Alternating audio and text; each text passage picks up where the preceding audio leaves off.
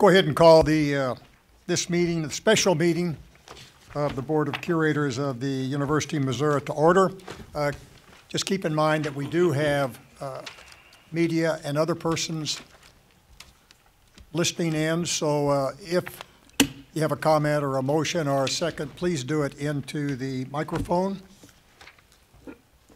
Want to uh, point out that uh, Curator Jamie Farmer is participating by telephone, but she is, she is on board here and present by telephone.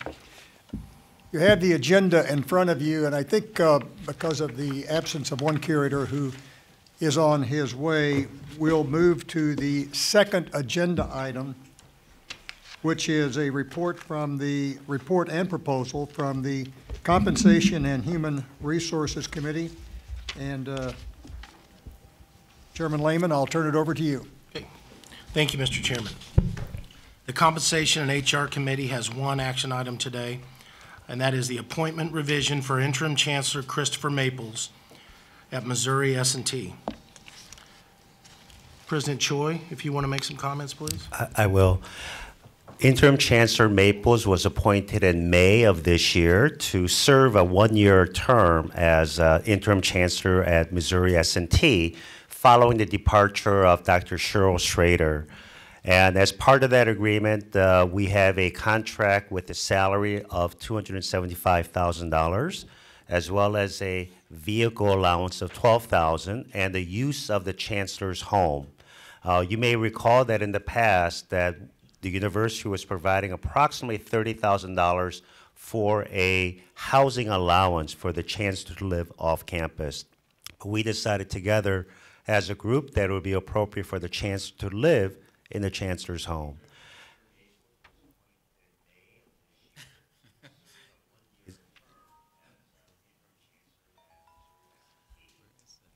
Let me, it's just feedback. Um, let me, and as part of that agreement, we all agreed to appoint uh, Chancellor Maples for one year. Uh, as you know, Chancellor Maple has done an outstanding job during his first six months in office. He has brought the community back to create a very collegial and inclusive community. He has focused on growing the research. He has also hired the, an excellent Dean of Engineering in Richard Welson, and, uh, and is continuing to make uh, important progress for the three critical mission that we have, missions that we have, including student success, research breakthroughs, and effective engagement. So I would like to request that the board consider approving a one-year extension of his term at the same compensation level uh, to be completed in June of 28, 2019. And I want to go back and talk a little bit about the vehicle allowance. As, as you may know, following the auditor's report and our analysis of best practices, we decided as a group, working with the board, to phase out vehicle allowances. And in the future, vehicle allowances will be provided only for the president and the chancellors moving forward. Thank you. Thank you, President Choi. Does anybody else have any questions? I appreciate you um, hitting those items, because that's something that I think, you know, as you mentioned, we've talked about extensively, and I appreciate you making those changes. If there's no further discussion, may I please have a motion and a second from the Compensation and HR Committee to recommend to the board approval for the appointment revision of interim Chancellor Christopher Maples? So moved. Second. Cindy, could you please call roll? Curator Chatman? Yes. Curator Farmer? Yes. Curator Layman? Yes. Curator Steelman? Yes. Curator Sundvold? Yes. You have all committee votes in favor? Mr. Chairman, I move the full board to appoint, uh, to approve the appointment revision for interim Chancellor Christopher Maples. We have a motion. Uh, Do we have a second? Second. We have a motion and a second. If there are no questions or comments, Cindy, will you call the roll on the motion? Curator Brncic? Yes. Curator Chatman? Yes. Curator Farmer? Yes. Curator Graham? Yes. Curator Layman? Yes. Curator Phillips? Yes. Curator Snowden? Curator Steelman? Yes. Curator Sundvold? Yes. Motion carried. I think it'd be appropriate this time to, to recognize uh, Chancellor Maples. Chris, would you stand and be recognized and?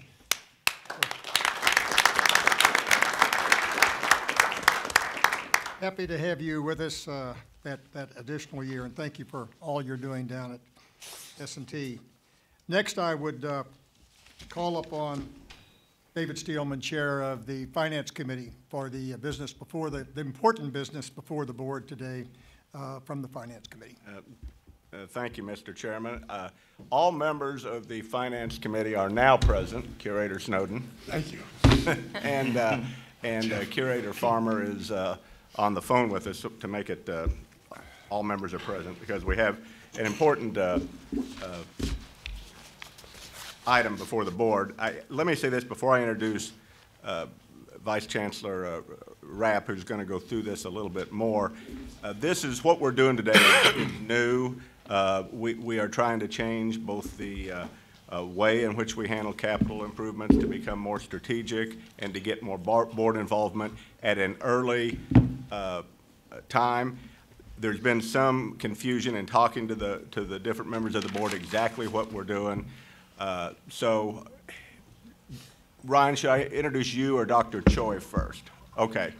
Uh, We're going to begin with a statement from Dr. Choi on how he views this and the process and what we're trying to accomplish. Thank you. Thank you, uh, uh, Curator Steelman. Um, As uh, Curator mentioned, in September, the Board of Curators approved a process to replace the existing capital planning process as we prepare- for fiscal year 2019. This process will ensure that the Board of Curators has input early at the uh, stage of capital planning, which is very important to ensure that our campuses are operating with the objectives of growing the three missions of the university and provides long-term strategy and also sound financial planning. This morning, you will hear from each campus chancellor as well as Jonathan Curtright, the CEO of MU Healthcare. They will outline their five-year plan. And as part of this uh, process, we're also going to be recommending to the Board of Curators our highest capital project, which is the translation, translational precision medical complex, which is critical for our AAU standing at the Columbia campus and will enable close synergies and collaborations across the four campuses to enable our faculty and students to compete for federal research grants that can be translated into valuable products and processes for the marketplace.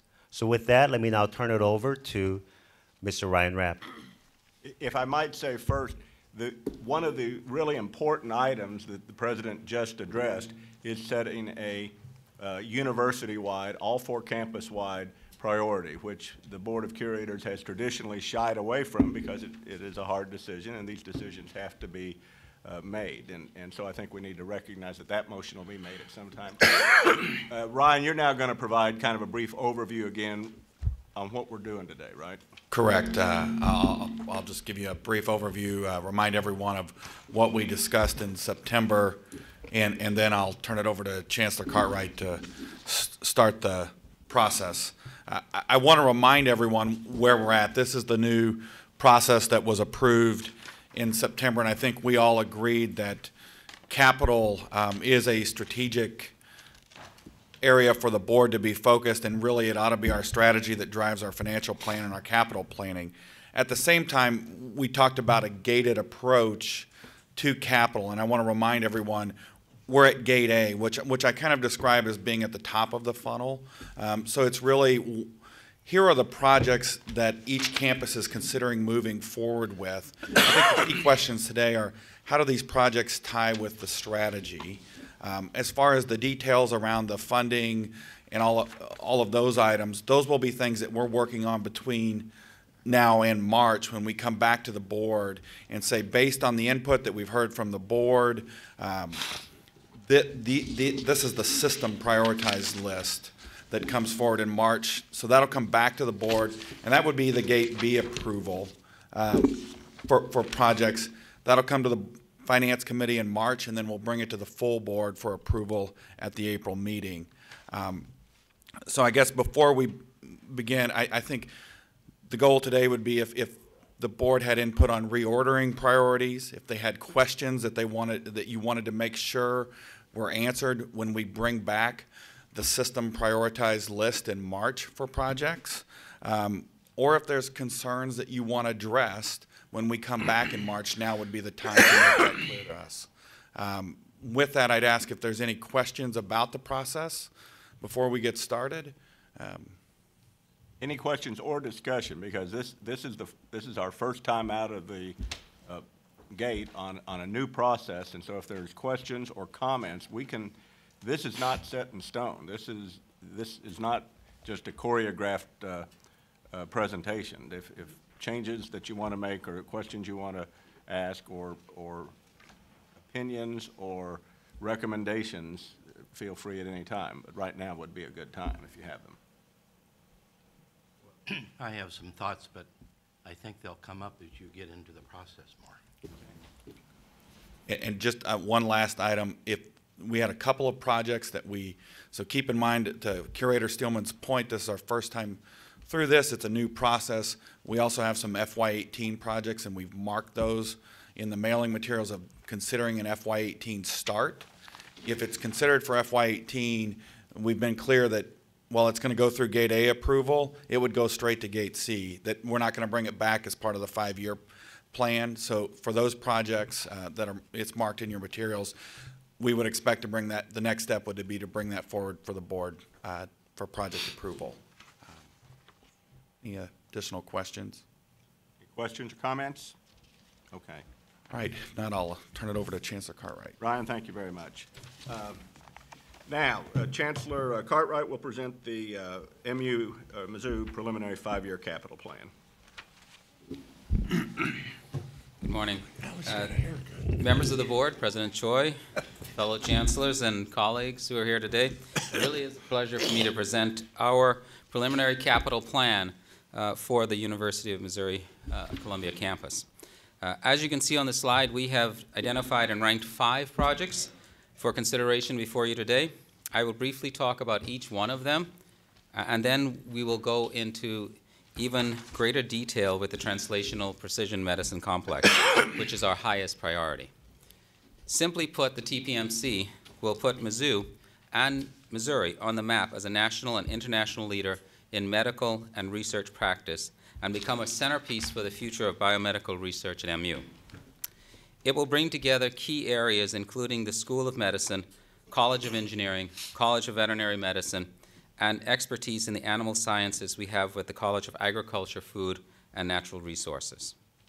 This facility will enable us to conduct leading-edge research, enhance recruitment and retention of the most talented researchers, and maximize opportunities for external grant funding. In addition, we see this as a statewide resource that will empower biomedical research throughout Missouri. What does it mean to the typical Missourian?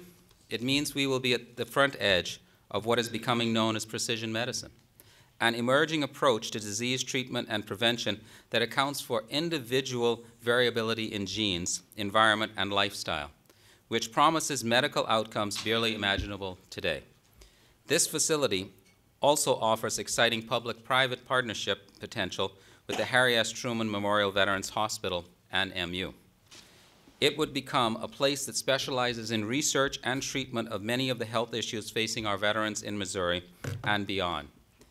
At Missouri's public, as Missouri's public AAU research institution, such a facility would greatly enhance our standing among the nation's top research universities and strengthen our position nationally as we compete for faculty, research dollars, and centers. This is underscored by the fact that the National Institutes of Health has identified translational medicine research as a major focus of grant funding in the near future.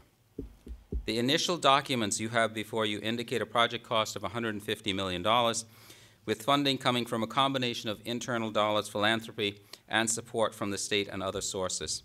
This project could be done in phases, with shelf space provided in some areas until further funding is identified. The total project could be accomplished with $200 million in funds. The TPMC would be constructed just south of the Gateway Residence Hall, east of the University Hospital and Clinics uh, facility. Our second campus priority is the renovation and addition of our existing facility for the Sinclair School of Nursing. We would construct a three-story addition to the building that would provide enhanced simulation labs, research labs, and collaborative space for students. It also includes renovation of the existing existing building to improve functionality and accessibility. The current facility is not adequate for the top-ranked nursing program we have at Mizzou. Many of our faculty receive significant research grants, but we do not have the space to accommodate the work. This facility will enhance our ability to attract grants and will further strengthen our AAU standing. This project would require $20 million in funds. Our next pro- uh, ranked project is an upgrade and maintenance of the research vivarium in the Medical Sciences Building. Our current vivarium was built in 1954 and is outdated by today's standards for animal care and research. These facilities limit our research growth potential in the School of Medicine and throughout the campus. The project involves, involves $13.1 million in renovation funding and could support our efforts to strengthen our AAU standing. You will hear AAU quite a bit in what we're doing. Uh, our fourth project is an addition to the library depository in the east part of town to consolidate mass storage collections and university archives collections into one location. The new facility would include high bay storage systems and climate control. Currently, many of these collections are held in temporary storage facilities, including one that suffered air conditioning failure this summer, requiring tarps to be placed over the books to protect them from dripping water. This is a $5.2 million project. Our final ranked project is the new journalism building, which would be constructed on the current site of Neff Hall Annex. This $45 million facility will bring together MU Media brands of KOMU, KBIA, Missourian, and Vox to create a multi-platform class lab environment as well as other programs such as strategic communications, documentary journalism, and leadership. This location also provides an excellent space for a new MU Welcome Center that would serve to bridge the community and the campus. Earlier this year, we announced a gift from the David Novak Foundation that provided $21.6 million for the Novak Leadership Institute. We envision that the institute will be housed in the new facility as well. So these are the five ranked priority projects for the University of Missouri. We will need to continue discussions with the board and system leadership. For several of these projects, we anticipate we could seek appro- project approval in late spring or early summer of 2018. I am happy to take any questions at this time about any of these projects, and I do have several leaders here uh, today who can help me answer any specific que- questions you may have about uh, any of these projects. Okay, any questions or discussion? Uh, Curator Chatman? Thank you, Dr. Cartwright. Yes. This, this question is probably better for Ryan, you know, to just back up a little bit. Um, but last summer, we approved four projects to send to the legislature. Now, as we go through this process, I think we're gonna probably hear about twenty projects today. In the end, how many projects are we gonna be, is this, is this a, um, is this process designed to submit a certain number of projects to the legislature for requested funding? Or, um, just So- tell me how that's gonna Yeah, work in the end. So, uh, this spring in March, we'll, we'll come back with how we want to go about funding this. Uh, We would anticipate then the Finance Committee would move that forward for approval to the full board in April. Along with approving the five-year plan, it would approve the state request for capital funding. So, so we would do that at the March meeting on, uh, and, and, and wouldn't be in a position of where the board would be surprised by what we're asking the state for. So I guess my, just to follow up on that, so we're gonna hear about twenty projects or so today. How many in the end are we gonna end up, uh, moving forward with? Is it gonna be five, is it gonna be ten? Or is there a certain dollar figure associated with what we're gonna be moving forward with?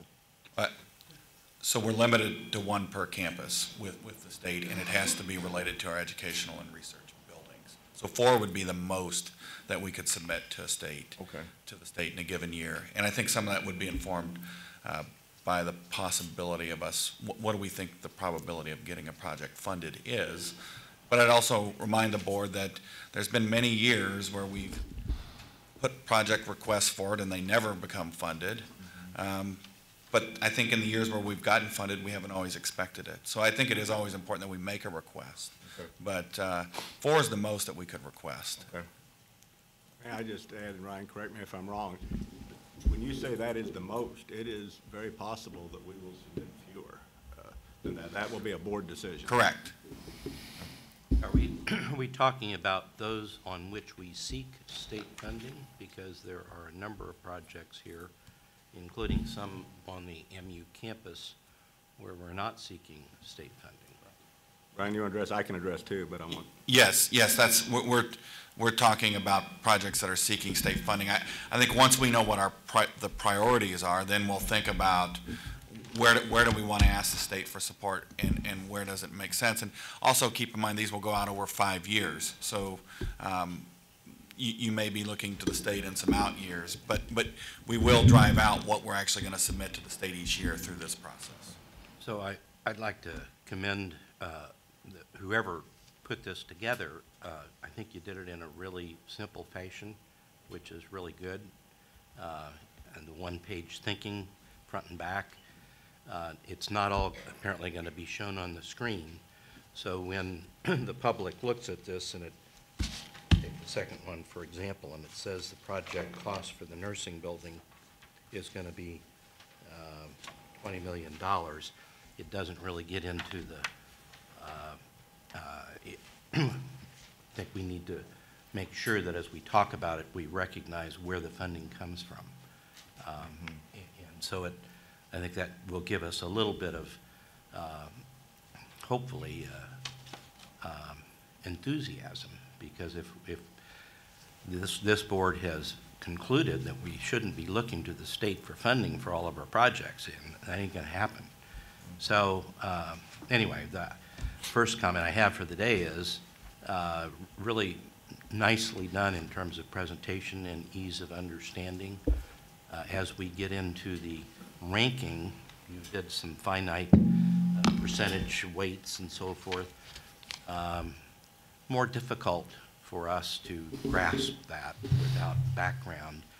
And I'm not sure that as long as we're not being bound by those rankings, um, not a problem. But these kinds of things can't be pigeonholed by, by a calculation, I don't think. So that's why we're here. And again, I, first of all, Ryan uh, and his team, I don't want to, I can't even name all the teams, so I don't want to leave anybody out. And Rick Banyek, who I, I think sometimes folks don't realize have been, how active he's been, have, have really spearheaded this process. Uh, I, I would like to address one thing. I think it is important as we go through this to recognize the importance of priorities, and we're going to talk particularly uh, about Dr. Choi's recommendation on the TPMC. But it is also important to understand that these priorities can change depending on whether financing develops or not. At this level, what we're trying to do is establish so that development has to follow our strategy, the board's strategy. So we want to be fairly generous letting, in my opinion, that's just my opinion, letting projects into the funnel, because if, till they're in the funnel, uh, development officers can't even test their viability. But as it goes through the funnel, if there is donor support for one project and, and not for another, then we may reevaluate priorities. Uh, Can I ask a quick question? A little bit to do with what David said and also what John said. I think this is probably for you, Ryan. Uh, Just so I'm crystal clear, we're evaluating these on our priorities, and then we're going to figure out, is there state money? Is there donor money? Is there our money? Is there, right? So the Ye- yes. first thing is, what's the most important project? Yes. That's, okay. Exactly. I just want to make sure that We- was. What, what you will see in March is we'll come back with, here is the system priorities, here's the funding plan on how we think we'll actually execute on this. This is really just, we don't want to go do all of that, and you guys say, wait a minute, we don't think these are priorities. Right, and so we have a, one, one, if you don't mind. So then we have, this is the most important project for the University of Missouri, for Mizzou, and then here's how it relates to the, you know, the total University of Missouri. And um, we need to figure out how to pay for it. Okay, thank you. So I think one of the questions then for the board, maybe an easy one, is there a priority that's not on this list that you think should be? Uh, That, that would be a very valid question, yes. Or do you have any reason to disagree with the priorities on here? Uh, As we go through, I have a disagreement with one priority, for example, but. Just kind of setting the stage, because I don't think we're here to approve any specific project for funding or anything else, right? We're talking about a process by which we will get to approving the dollars and cents, but do we all agree that these are the priorities? And if not, why not? If so, great. Exactly, and I think, and we, it may change, because it'll, it'll depend on what the entire board wants to do, but I think at least setting priorities right now, understanding they're flexible, are, im- are important. Any, eh, well, I will have some if no one else does, of course, but any more questions for, for uh, Chancellor Cartwright?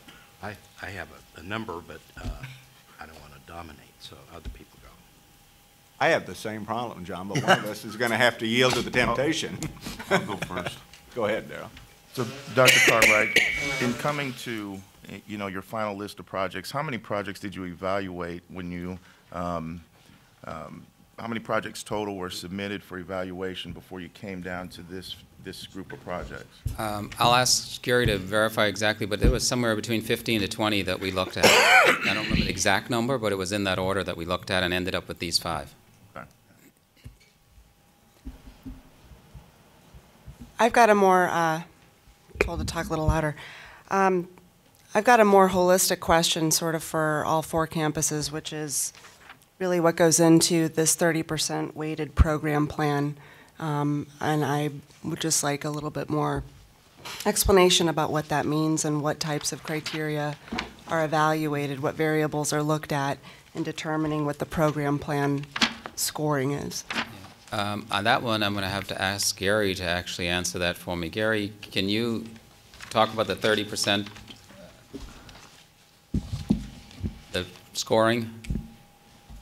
So it takes a look at each program based upon the academic and research needs of that particular building. That's one weighted criteria.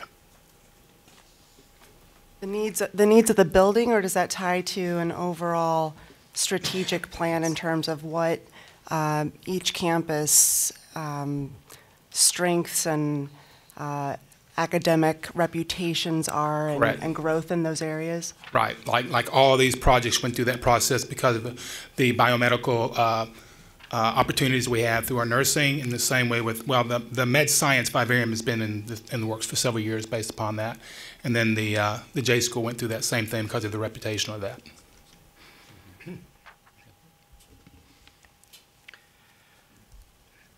More questions? So, um, I, I think we've agreed, uh, I think unanimously that the, that the Translational Precision Medicine Complex, TPMC, I hope I can get used to that acronym, uh, is the top priority of the university, as well as uh, the MU campus.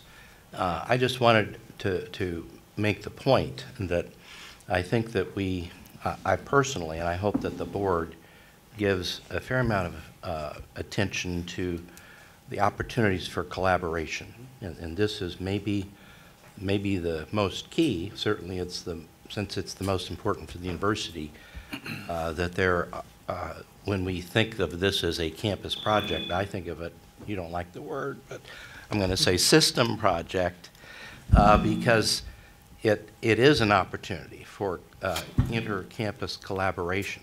That, that, that's one of the uh, great things about this project.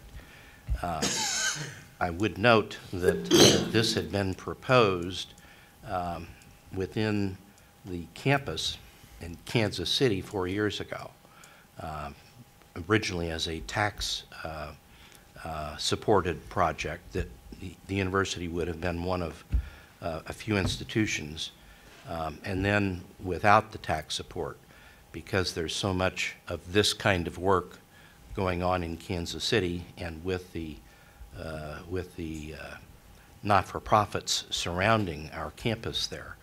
And so I'm, you know, I've been excited about this. I'm just as happy that it's on the MU campus because it doesn't matter what campus it's on. It is a university opportunity, and I hope we make the most of it. I don't have any issues about the other prioritizations. Um, Each one, the way it was presented to us, uh, has project funding, which is kind of um, loosey-goosey. Just our best guess as we sit here. Right. Um, And um, as we get into it, I, I guess I, are we, when will we, are we just delaying the discussion of how it's gonna get funded? Because on this project, I thought it was gonna be like two hundred or two hundred and fifty million, and it will be staged. Um, and I thought that we might be using, um, bonding on it, but it doesn't appear that we are. Maybe today's not the day to Chancellor No, we can talk about that, For- Chancellor. Yeah, for all of these, uh, my understanding of what we were presenting today was for Gate A, which is, here's the project, here's roughly what the budget looks like. We will come back to you with a few of these, a couple of these in the spring, that have very specific details of exactly what you're asking. Here's how it's going to be funded, here's where the money's coming from, here's the plan of when it's going to be uh, implemented, and, and the timeline, all of that will be in the next gate, right, Ryan? That was, the- that's what we were asked to do. So the fact that Actually, if I could add, so is it hundred and fifty million? Because I was thinking, like John, I was thinking, I remembered it was a little higher. Yeah. It was two hundred million, and when we said the whole project is two hundred million, Yeah. what we're thinking about is, is phasing it in. Uh, the first phase could be about hundred million, and then we can add on as we go. How much is the TPMC total, though? Two hundred million is what we're looking at. For everything. That would be there. And so when our, our executive summary page shows internal fifty, uh, gifts uh, fifty and state fifty, that could change in the spring, That could change once we do a little more due diligence. and it shows no bonds. Right, Right. at this time, it does Well, not it- show it- that, but. Can I speak to that just a Yes, little bit? please. And again, I'm just one curator. I'm telling you how I kind of view this. I, I anticipate a motion being made, uh, and, and I hope that the Finance Committee passes it and the board passes it today, that the TPMC is our top priority, which I hope will also allow us to at least uh, talk to the legislature and the governor's office about it, but to me is also a commitment that we are going to build this. I will tell you that I personally believe if there is a shortfall, that we should consider bonding at that time. And that, but that is just my belief. That will have to come to the committee. Uh, Bonding is sometimes controversial. I'm just telling you, my belief is if there's a shortfall, we will make it up. Okay? Doc- Dr. Cartwright, another question. Um, You had mentioned that you guys will be pursuing public-private partnerships um, with the TPMC. Have any been identified yet? Do we have any commitments? Um, Where are we at in that process? We've already had uh, several people who are interested in it. I'd ask uh, uh, Elizabeth Loboa uh, to give specifics on all, do do you want to mention all the different, a number of them at least as examples? Yeah, I'm happy to. I think uh, the first thing we want to highlight, and I don't know if there was the opportunity yet in the documents you have, is of course David Isaacs, the director of the VA hospital, is very interested in having the VA hospital researchers in this facility and is actively looking to raise 50 million federally and has engaged uh, Claire McCaskill and has also worked with uh, Blunt's office. So that's when we talked about from the public-private partnership, the VA looks at uh, anything outside federal as being a private. So they're looking at us as part of a, a private for that public-private partnership. In addition, I, I just got off the phone with uh, my strategic advisory board, um, which um, my, my group has talked about how they want to actively fundraise 10 million themselves to, to bring to the table for, from the College of Engineering side, but then we also named uh, incredible opportunities that could and should be pursued with Cerner, uh, given that they're here, uh, Bayer now merging with Monsanto, some of the more pharmaco uh, backgrounds. Uh, we're talking now about reaching out to Genentech and a multitude of others from the industry standpoint. So I think all of us as deans have, have been getting, coming together and bringing those partnerships forward. Of course, uh, Dr. McIntosh is Vice Chancellor for Research. Um, I know we have more meetings coming next week uh, related to some more of those public-private partnerships. Great, thank you. I'm going to have questions if no one else does.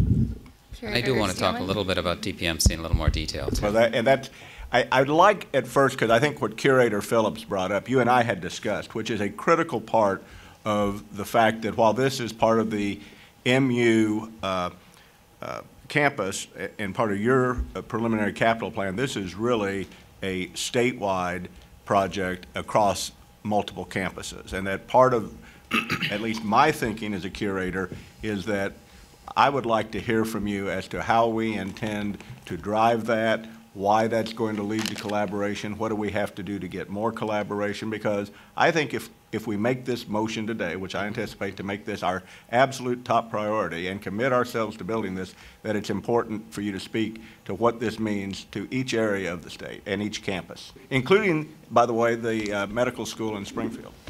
Yes, okay. Uh, So uh, what I'll do is I'll go over first the TPMC, and then I'll come back to that if you're okay with that.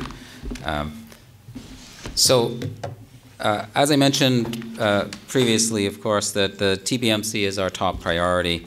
Um, We believe it will be transformative uh, for us. I will discuss it in more detail, but I'd like to show first a brief video about the excitement of this facility. In Columbia, the University of Missouri provides global leadership through a world class education in medicine, animal science, engineering, business, law, education, and liberal arts, all from a single campus. Now, as the world draws even closer together, it's time to find strengths in our differences and converge, to collaborate, to integrate, to innovate, and to change the world. Bringing these aspirations to life, the Translational Precision Medicine Complex, where researchers and clinicians work together to create the next generation of biomedical solutions. Great minds in engineering, medicine, and vet science share spaces where new ideas collide and can join. This nucleus of knowledge pulls in research resources from around the world. And the most promising ideas advance from concept through pilot scale manufacturing. From benchtop to bedside, all from inside the TPMC.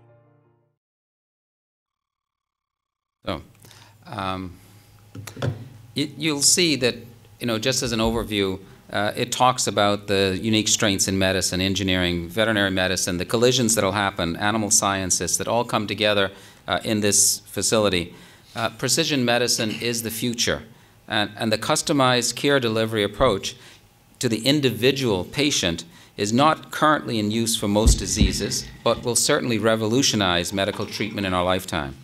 This facility will put Missouri at the forefront of precision medicine and help us to produce the Mizzou-made engineers and clinicians uniquely equipped with the skills to succeed in this new frontier of healthcare. Research discoveries would have the potential to lead to new companies and eventually to high-paying job creation for the state. Missouri residents would stand to reap the advanced health care benefits by having access to highly trained professionals in the field. And this facility will be a resource for institutions across the state, from universities to hospitals, including, as Curator Steelman said, all four campuses in the UM system. The TPMC opens the door to robust collaborative opportunities and discoveries in precision medicine and related areas. The opportunity to incorporate research and treatment space that is important to veterans is an additional plus. A core mission of the Department of Veterans Affairs is to improve the lives of veterans and all Americans through healthcare discovery and innovation. VA-funded research has led to breakthroughs in treating cancer and heart disease, developing new diagnostic tools such as a CT scan and implantable cardiac pacemaker. The TPMC provides an opportunity to bring these researchers together with MU scientists and clinicians to make new discoveries and deliver care. Finally, it is important to realize and emphasize, again, the significance of this facility improvement to our standing with our AAU peers. This building will increase our laboratory space and research core areas, attract additional researchers, and enable us to compete much more successfully for research grants. It will play a crucial role in MU's future success. Again, for this project, we will bring back the final plan for approval in the spring after we've had further discussions with the board and system leadership. I want to now address uh, Curator Steelman's uh, question about uh, how do we use this as a collaborative, uh, uh, uh, collaborative facility across the state. Um, if you look at what is happening in big science, most things that are happening now are at the collision areas. They're what we call boundary science. and it requires people who have skills from multiple areas.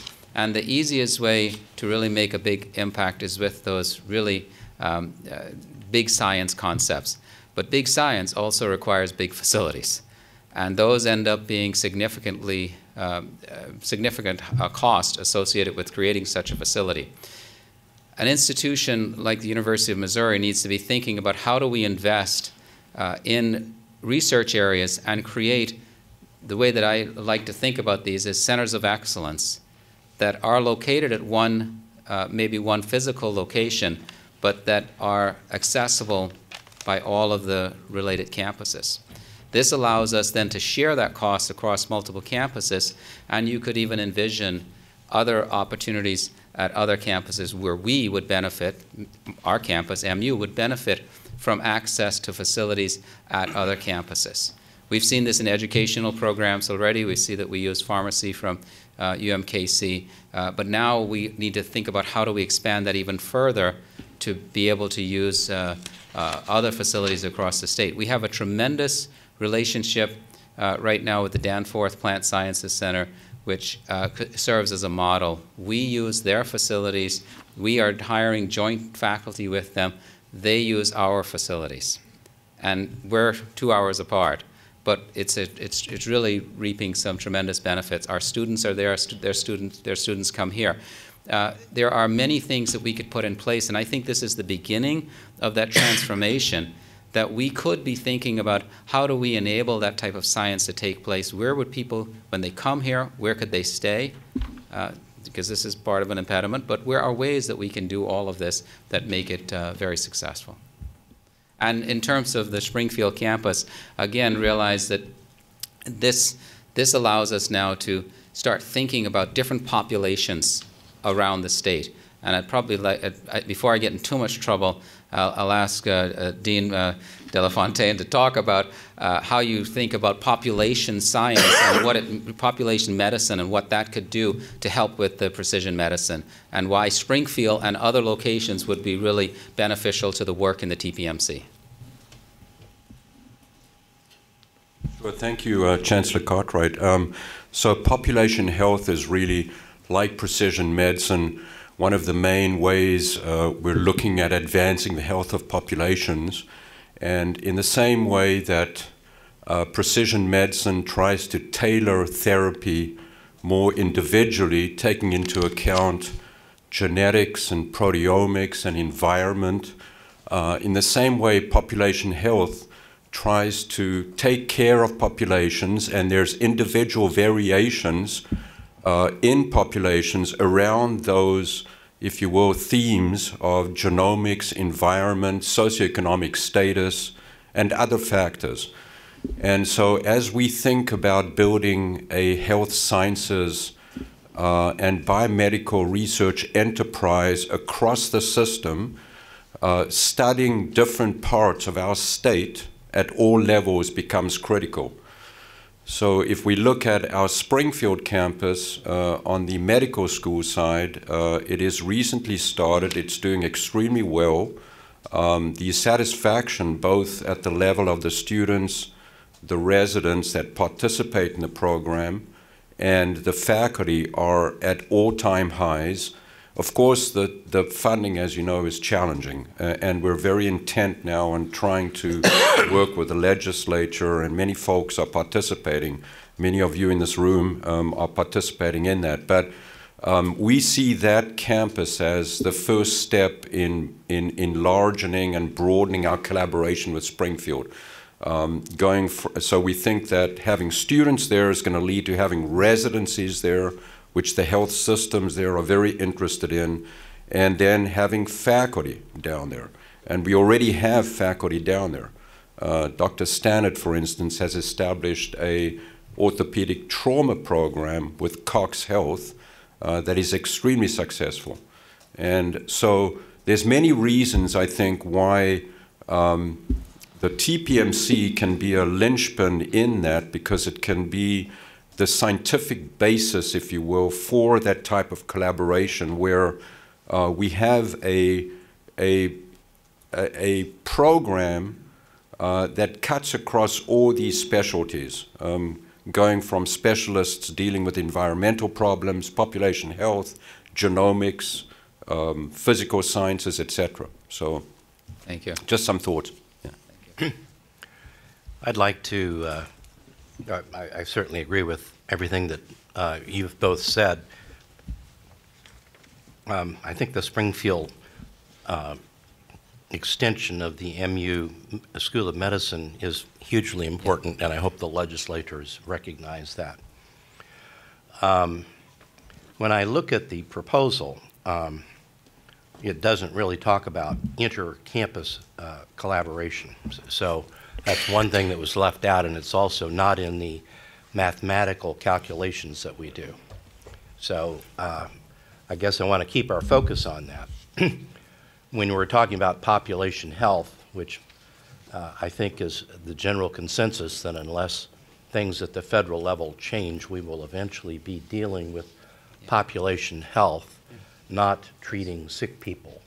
Um, And the demographics uh, in outstate Missouri are different than the demographics in St. Louis and Kansas City. So if you're going to be doing uh, precision medicine, you're going to need to access uh, the St. Louis and Kansas City campuses. Exactly. Um, Now, I didn't hear Camp, uh, Kansas City mentioned. St. Louis has the same, the same uh, opportunity for you to do that. We don't have a med school over. They, they've got two, and, and so, uh, you know, we don't have that opportunity. But I do think you have to keep it in mind. And uh, so I'm going to be watching to see how much outreach there is for the other campuses. My first visit to Rolla, I was astounded when one of our presentations was from an engineer who had uh, uh, figured out and had, I think, gotten a patent, and I don't know whether we own it or he does, about a new way to treat burn. Um, a- and I was thinking, wow, this is being done on the Rolla campus. Um, and he was a charming, very uh, uh, uh, erudite uh, uh, engineer who I would think would be someone that you would want to be involved in a, a, a, something like this. So look for those opportunities. Uh, quit using system. David, can I? Certainly, Dr. Choi. So this project is the highest priority for the system, and it's not due to window dressing. We're going to be seeking those partnerships very, very carefully. Um, just a few months ago, a group of researchers from MU Health and the rest of the MU leadership visited Kansas City to meet with their colleagues at the other medical school at UMKC, an outstanding school, to discuss partnerships with MRI Global as well as the Stowers Institute. And now what we have to do is formalize those relationships so that we can leverage the expertise that we have at the campuses for larger NIH grants and also corporate uh, donations. And the concept of working with Delbert Day at Rolla, that's going to be key. As you know, Delbert Day, in his honor, the Phelps County Hospital, I think, established the Delbert Day Cancer Center. So there's great collaboration opportunities throughout all four campuses. But we will make sure that that occurs. Any more comments or questions on the, T- let's say the TPMC first, and, but, but I, I don't want anything else to get short shrift. The, the nursing uh, facility in, in particular, I think Dr. Cartwright is, it is a very important opportunity for us. too. Absolutely agree. Curator Steelman, I have a question.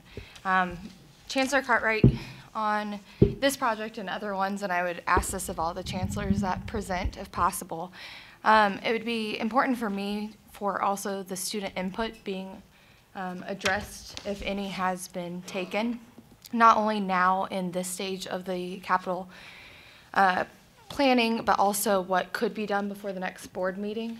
Um, I think it's important, even though the lifespan, pardon me, of the student on these campuses are much shorter than these projects, building that affinity early on with having that input would be a great impact. Um, so one of the first things that I did when I came here was to expand my cabinet to include the faculty and the students and a staff council member. Uh, so they uh, generally see a lot of the discussion of things that we are trying to do. Um, we also, uh, even the retreat that I held last week that was really thinking about the planning for the future of Mizzou, uh, faculty, students, and staff were at that planning. Um, I, I agree completely that we need to be hearing what they think. Uh, a lot of a lot of the decision, even uh, the the importance that uh, Curator uh, Steelman mentioned of nursing, um, that is driven primarily uh, to me because I know how many students are interested in nursing, and it became a priority and moved up the rank very quickly in a matter of a month or so, right? right. Um, so we, we because of I th- because I think it is so important, and there's so much uh, uh, need uh, and, and desire for students to be going into nursing that it is one of the reasons that we're trying to do that as quickly so that we can grow the class size in nursing. Um, so yes, we I agree completely. We need to be taking into account all of the student input. Thank you. Thank you. On the School of Nursing, again, I'm, I'm probably jumping ahead to our spring meeting, but um, fir- first of all, I think we all recognize that the School of Nursing at MU is nationally Yes. ranked and recognized, so we build to our strengths, so it's important to support this. I'm glad it's number two. Um, But on the project funding, um, I, I'm not sure how the gifts from the Sinclair and the sale of property and so forth figure in here, but isn't some of this going to be uh, coming from gifts? Yeah, We've yes. got- We've got no indication of how we're going to do it, but it's the second most important thing on the MU campus and high on the priorities of the system. Sorry. Uh, Curator Phillips, uh, you're absolutely right. We, we do plan on doing that. And I'm going to ask uh, Dean uh, Miller to mention a little bit of this. Um, we have been thinking about that. We don't have it all worked out, but she can give you a flavor of where we're headed with how we would fund it. Well, thank you for the opportunity. We, uh, we've been thinking about this uh, issue because um, nursing, as the other disciplines, want to serve Missourians. And there's a tremendous shortage of nursing. Nurses, there's 1.5 million are going to be short by 2020. So we really need to do something to address this and serve the citizens of Missouri. And I also want to, I'll answer that question, but I also want to let you know, you see I have the microphone. Um, 88% or so of our graduates stay in the state of Missouri. And so as we plan for this new structure, we're going to increase our enrollments by between 30 to 40%, which means we will have between 60 and 78 more students in the clinical major, which is in the fifth semester. Now, when they come to the clinical major in our University of Missouri, we turn away two-thirds of the qualified applicants because we don't have the space. We don't have the faculty as well. So this will help our revenue base as we move forward with some solid planning here. So I appreciate the chance to say hello to you, especially because this will probably be my last time. I'm going to be retiring at the end of December, so this is a, a chance for me to say goodbye as well. So the funding, we've been working on this. It has been a priority, and you've heard about nursing for uh, several board meetings uh, before this current administration. So we have been doing fundraising, and we have about $15 million that we've just been tucking away and tucking away and working really, really hard uh, planning for this um, a- a- as we move forward. So there is uh, money in the bank, so to speak, and I urge you to, uh, to continue to support us. If there's anything else in relation to fundraising, uh, I, I would just say that not only is our School of Nursing a treasure to the university, but Dean Miller. you- Dean Miller is, I agree. oh, well, thank Agreed. you.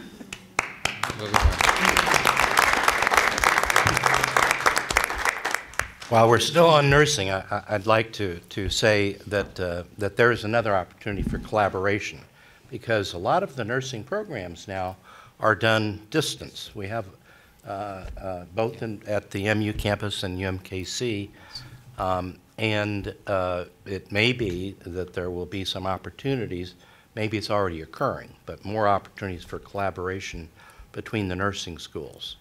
Uh, That's, just want to get that in there. And so to just follow up on that, we have been collaborating with the other campuses in initiating our PhD program several years ago, way before I came on board. Um, the, it was initiated as a joint uh, PhD program. We can, we've grown ex- exponentially with our PhD program with 56 doctoral students enrolled.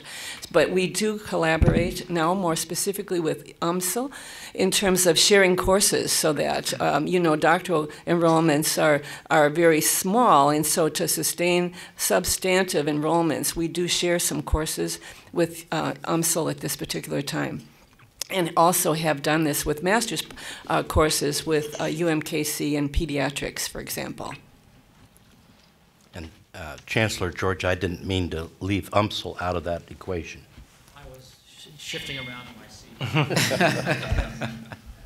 Hey, Ryan, I have a question, and it may be, when we look at priorities, and obviously we'll have one probably approved later as the highest priority, um, where, you, you take the nursing project, when funding comes in and projects are smaller than the other projects, I mean, are things not pushed ahead, but if, if the nursing building was funded, I mean, if, if fund, if someone came in and said, hey, I've got fifteen million bucks to start this thing, does that become, D- Does it push the prioritization around? Uh, Yeah. The, Okay. the answer is it does have an impact. because I mean, the projects are so different in scale. Correct. And you look at what school of nursing can do with that building right away. So, again, as fundraisers, who, if they're not in this room or in this room, it, it seems like that can change in a hurry. Yeah, and, and, and we'll lay out a, a five-year plan too. So, so it may be that, well, this is when we think we'll start this project. If funding, you know, if the fundraising went better than expected, that might move that timeline up. Other question, if, if, if there was some big donor that, how do you handle big donors that have an idea, but that idea is not on our list, and do you shift them to become part of something else? So someone, someone wants to give ten million and they think we need this building, but that's not a building you need, do you You'd still like I- their I ten million, think- I'm saying. This process will help uh, avoid those situations when the fundraisers are going out meeting with donors.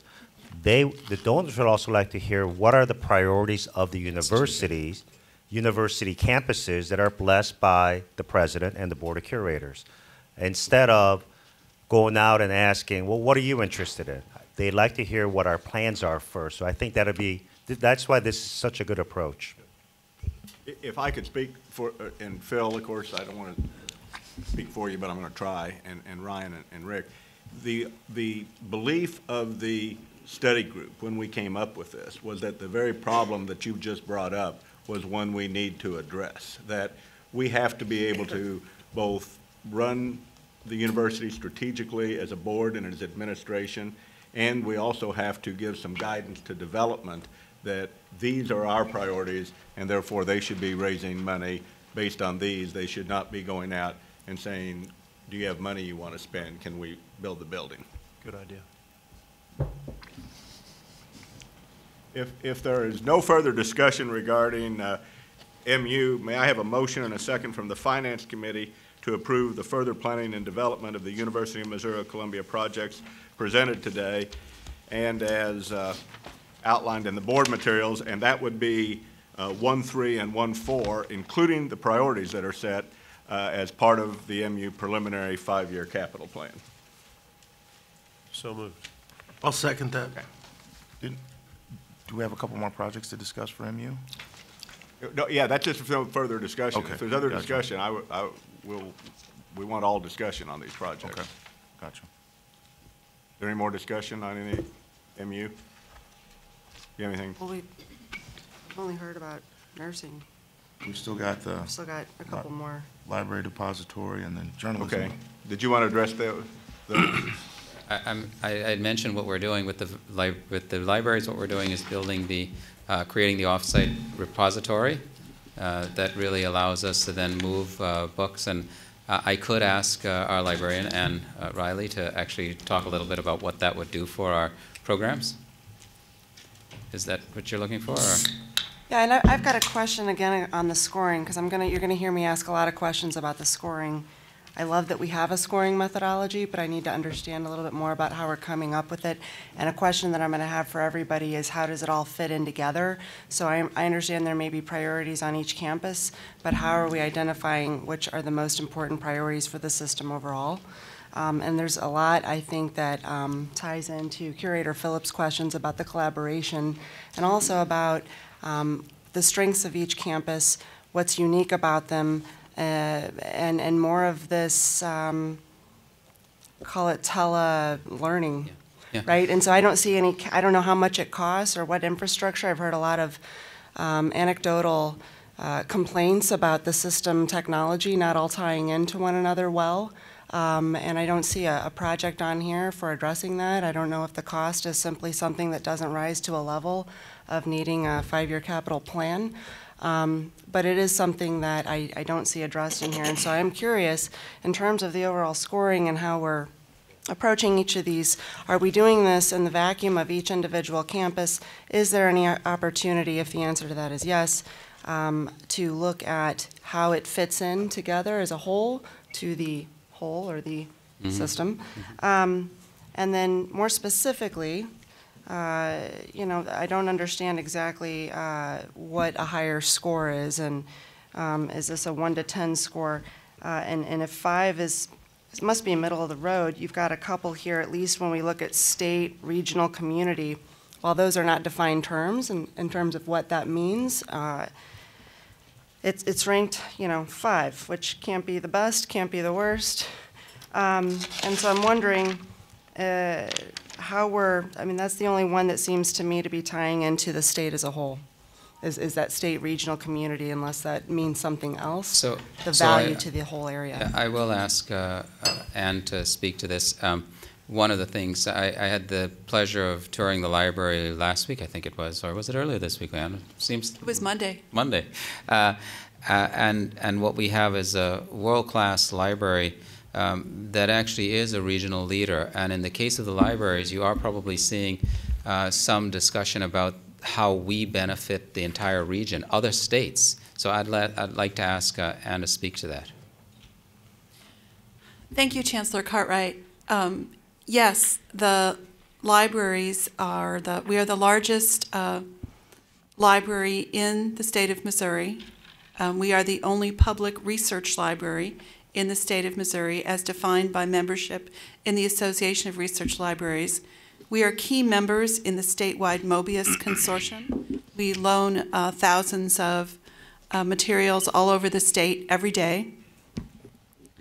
And this has uh, been a traditional part of our mission. Um, the way that the libraries are part of the land grant mission is, uh, in part, fulfilling this uh, obligation to provide information across the state.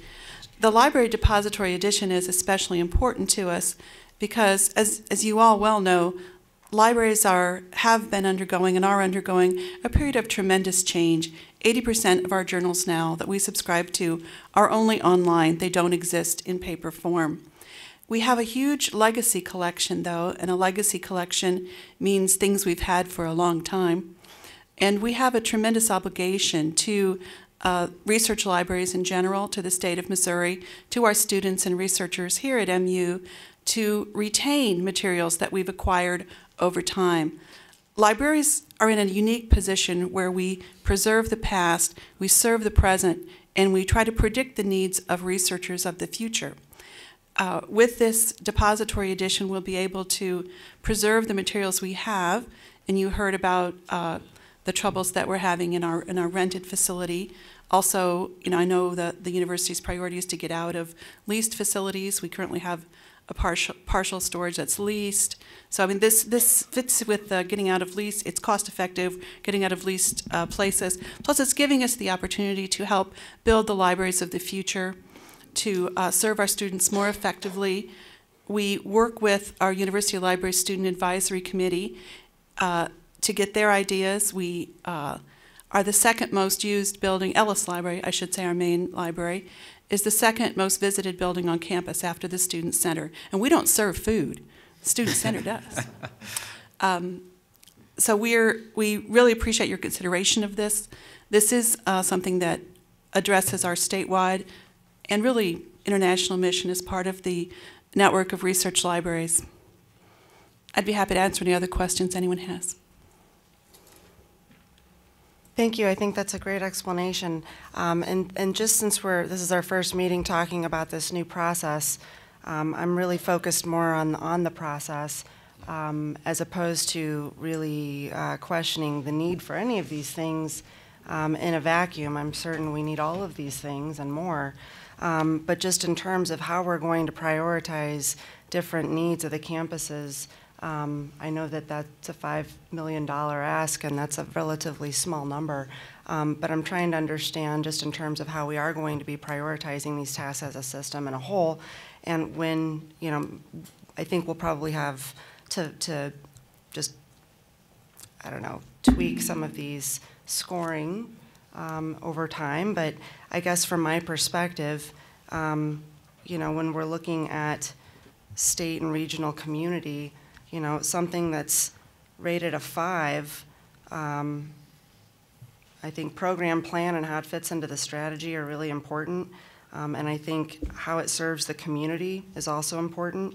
Um, and there are a lot of projects here that if 10 is the, the highest need, there's a lot of 10s there. And so I'm just, in terms of how we are thinking about that as a board, um, you know, these are questions that I have about how we're going to, ulti- instead of, we're ranking four different projects, I mean, there could be certain circumstances where it's not, maybe I'm wrong, each campus gets a new something, that one campus needs two new somethings, more to the overall strategic plan and the benefit of that campus and the overall uh, system um, than, you know, a round robin. And that's, that's just for discussion.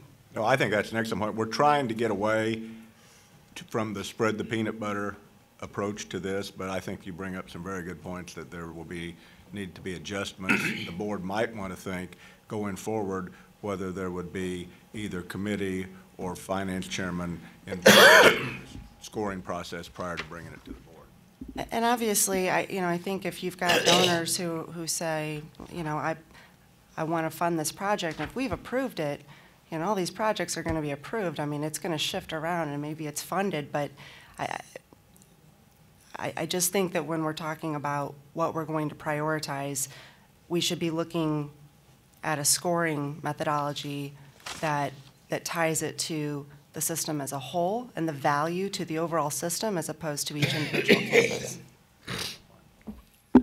What you just said triggered something, and and I think it's a really good point you- you've raised, Julia. Um, So who did uh, the the spreadsheet that we saw? I sort of assumed that the Finance Committee was involved, so so that you, this isn't the first time you've seen it. Having these materials is the first time those of us weren't on the committee, but was it totally administration? And if so, was it university administration, or was this a- a, uh, each campus did their own evaluation of their projects? I'll let Ryan speak to that. I think it was a combination. So, so at this point in the pro- process, it's each campus. Um, As we move forward and we work towards the March meeting, the system will get involved in that and will also involve the Finance Committee. I, I think that the main point today is we wanted to make sure there's nothing on here that you say doesn't seem to fit with the strategy. I, I think this list that you'll see that we bring back in March will be smaller. So, so part of it's, we're willing to let them go through this first gate, just getting through gate A doesn't mean that you're gonna go through gate B and gate C.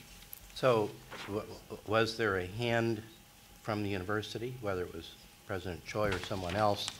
Or do we have four different chancellors using potentially four different thought processes in how you give grades and putting them together? Because, I mean, uh, if there isn't oversight at that stage, then you can't, you, you you can't really, Sure. it's apples and oranges. Yes, absolutely. So the system leadership did get involved. I was aware of these projects ever since I joined back in March. So we've had deep discussions. For example, uh, for UMKC, when they bring up the science and engineering complex combined with the free enterprise zone, that's been a high priority for them ever since they began fundraising for this uh, several years ago, as well as the conservatory. So these conversations were had, and now what we're going to do is identify where the funding is going to come from so that we can bring it to the board with our priorities in March. I'm not sure today is the day to get, to dig too deep into this, but at some point, I'd like to have further discussion about how the chancellors went about perceiving the relative number system.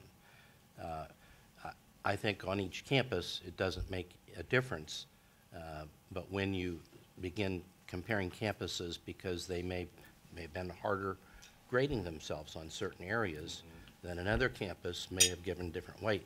So um, uh, I think, I think we ought to That's a, that's a good think about that a little bit, a little bit more. No, I think that's a great point. As I said, this is all, we're in an evolutionary stage, in my opinion, here. I, I will say, just from my perspective, that we are at such a preliminary stage where it's really, I don't know how you can prioritize until financing is, is set, for example. And all we're doing is giving permission to go do that and a rough idea of whether or not we agree with the campus priorities. In my, that's just my view of, of what we're doing. Maybe as financing takes shape before our spring meeting, so might we have some further way of making sure that the campuses are looking at their respective projects and ranking them with the same, the same uh, view of grading, so to speak. I think that's a great point. Together as a group. I think that'd be good. Just to com- yeah, just to comment on that, I think it's, I think it's good that the campuses use their own subjective, I don't, I don't have a problem with it, that they use their own subjective viewpoints on doing what's best for us. We're the check and balance to make sure that it's good for the system overall.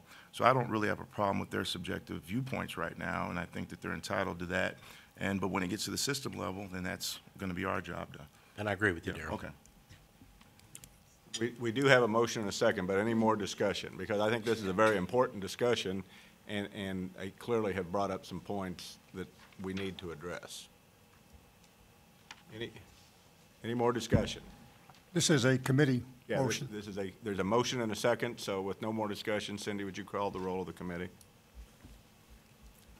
Curator Brncic, Yes. Curator Chatman, Yes. Curator Layman, Yes.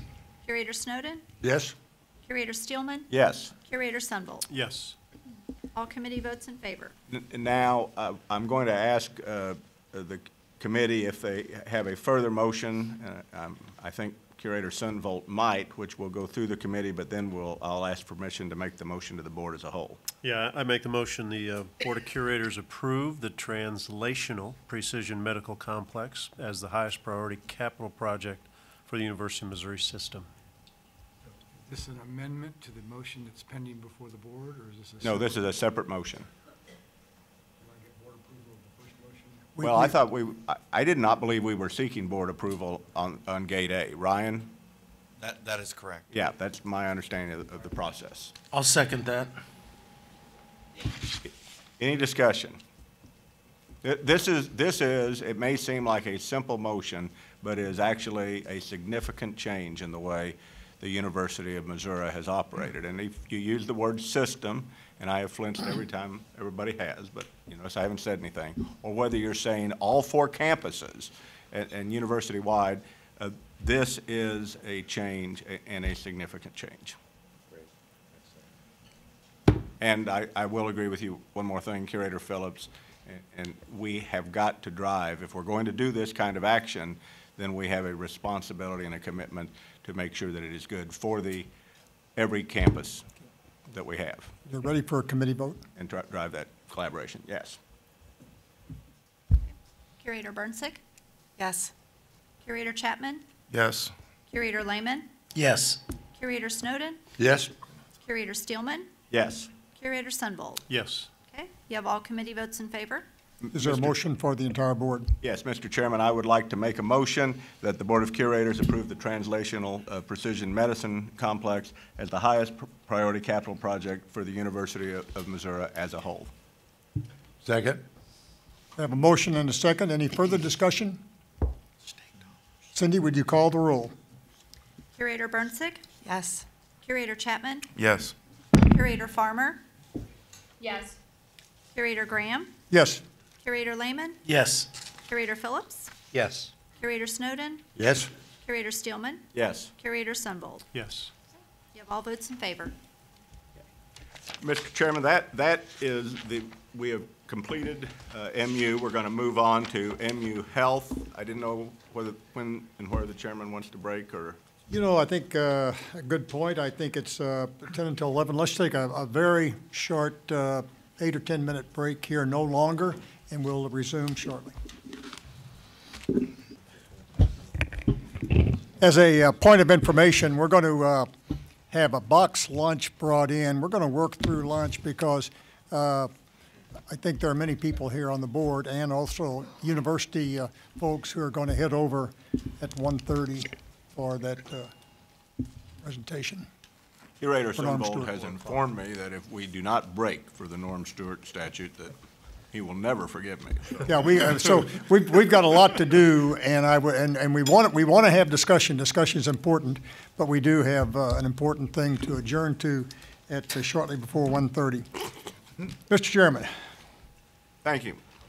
Now, uh, Chancellor Cartwright will, well, we made it, we have changed from my notes. Jonathan Curtright will present the MU Health uh, Care Preliminary Five-Year Capital Plan.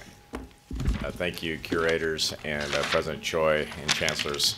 Uh, We're delighted to provide a uh, a capital update, capital budget update, and and ask for the Gate A approval. I'm learning my terms here, uh, for several items. Uh, I- Briefly, I'd like to tell the the committee that we have a strategic planning process along with MU Health with uh, uh, Dean uh, Delafontaine. Uh, And out of that strategic planning process, we have an executive capital process that reviews all uh, capital items over a million dollars, and then we also have another committee that reviews all capital items under uh, $1 million. Uh, And, and and we furthermore, we've, we we have employed a master facility space planning process with the Cannon Group, uh, and that has informed a lot of what I'm about to uh, present uh, here. Uh, So with that, going to our first item, I can assure you the first item is not as sexy, if you will, as the uh, TPMC, uh, but nevertheless is, is important. Uh, And it is for a review, or is, is to look at the uh, building exterior for Women's and Children's Hospital. This building was built in the early 70s. It is 45 years old. In many regards, it is, it it has uh, served its useful life. We have put uh, many millions of dollars into it, but this is uh, the continuing continuance of that. Uh, like many people that have uh, older homes, we noticed uh, there, there was some water infiltration in our rooms, and in inpatient rooms, as well as, thank you, uh, as well as uh, within our windows. And, and from that, we commissioned a study to look at the building skin, if you will, And out of that, we believe that we need to make some significant updates on the skin of uh, Women's and Children's Hospital. The request for this is approximately $15 million, and uh, it is our number one priority for uh, fiscal year uh, 2019. And Mr. Chairman, would you like for me to review all of them, uh, or would you like for me to go uh, one at a time?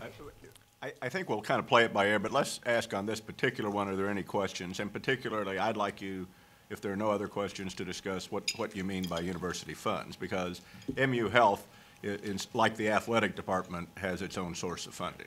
Uh, Good, good catch. Thank you very much. Uh, This would all be paid for out of our ongoing capital dollars. Uh, We have a capital budget that's approximately 7% of our net patient revenue, and that would be uh, how we pay for all of this. And it'd be out of the operations, basically. Good catch, thank you. I appreciate you breaking it out like that, but what you're saying is MU Health Funds. Absolutely, and maybe we could make that uh, uh, amendment in our presentations in the future. Happy to do that. Thank you. Any other questions or comments on this? Go, go ahead. uh, Right, very good. Uh, The second one, um, uh, if you've been out to Women's and Children's Hospital, we, there is a large facility that is uh, also attached to the hospital. Um, And it it is uh, our, what we call the Health Pavilion. Uh, This building was uh, sold uh, to a real estate investment trust uh, uh, several years ago, 1998.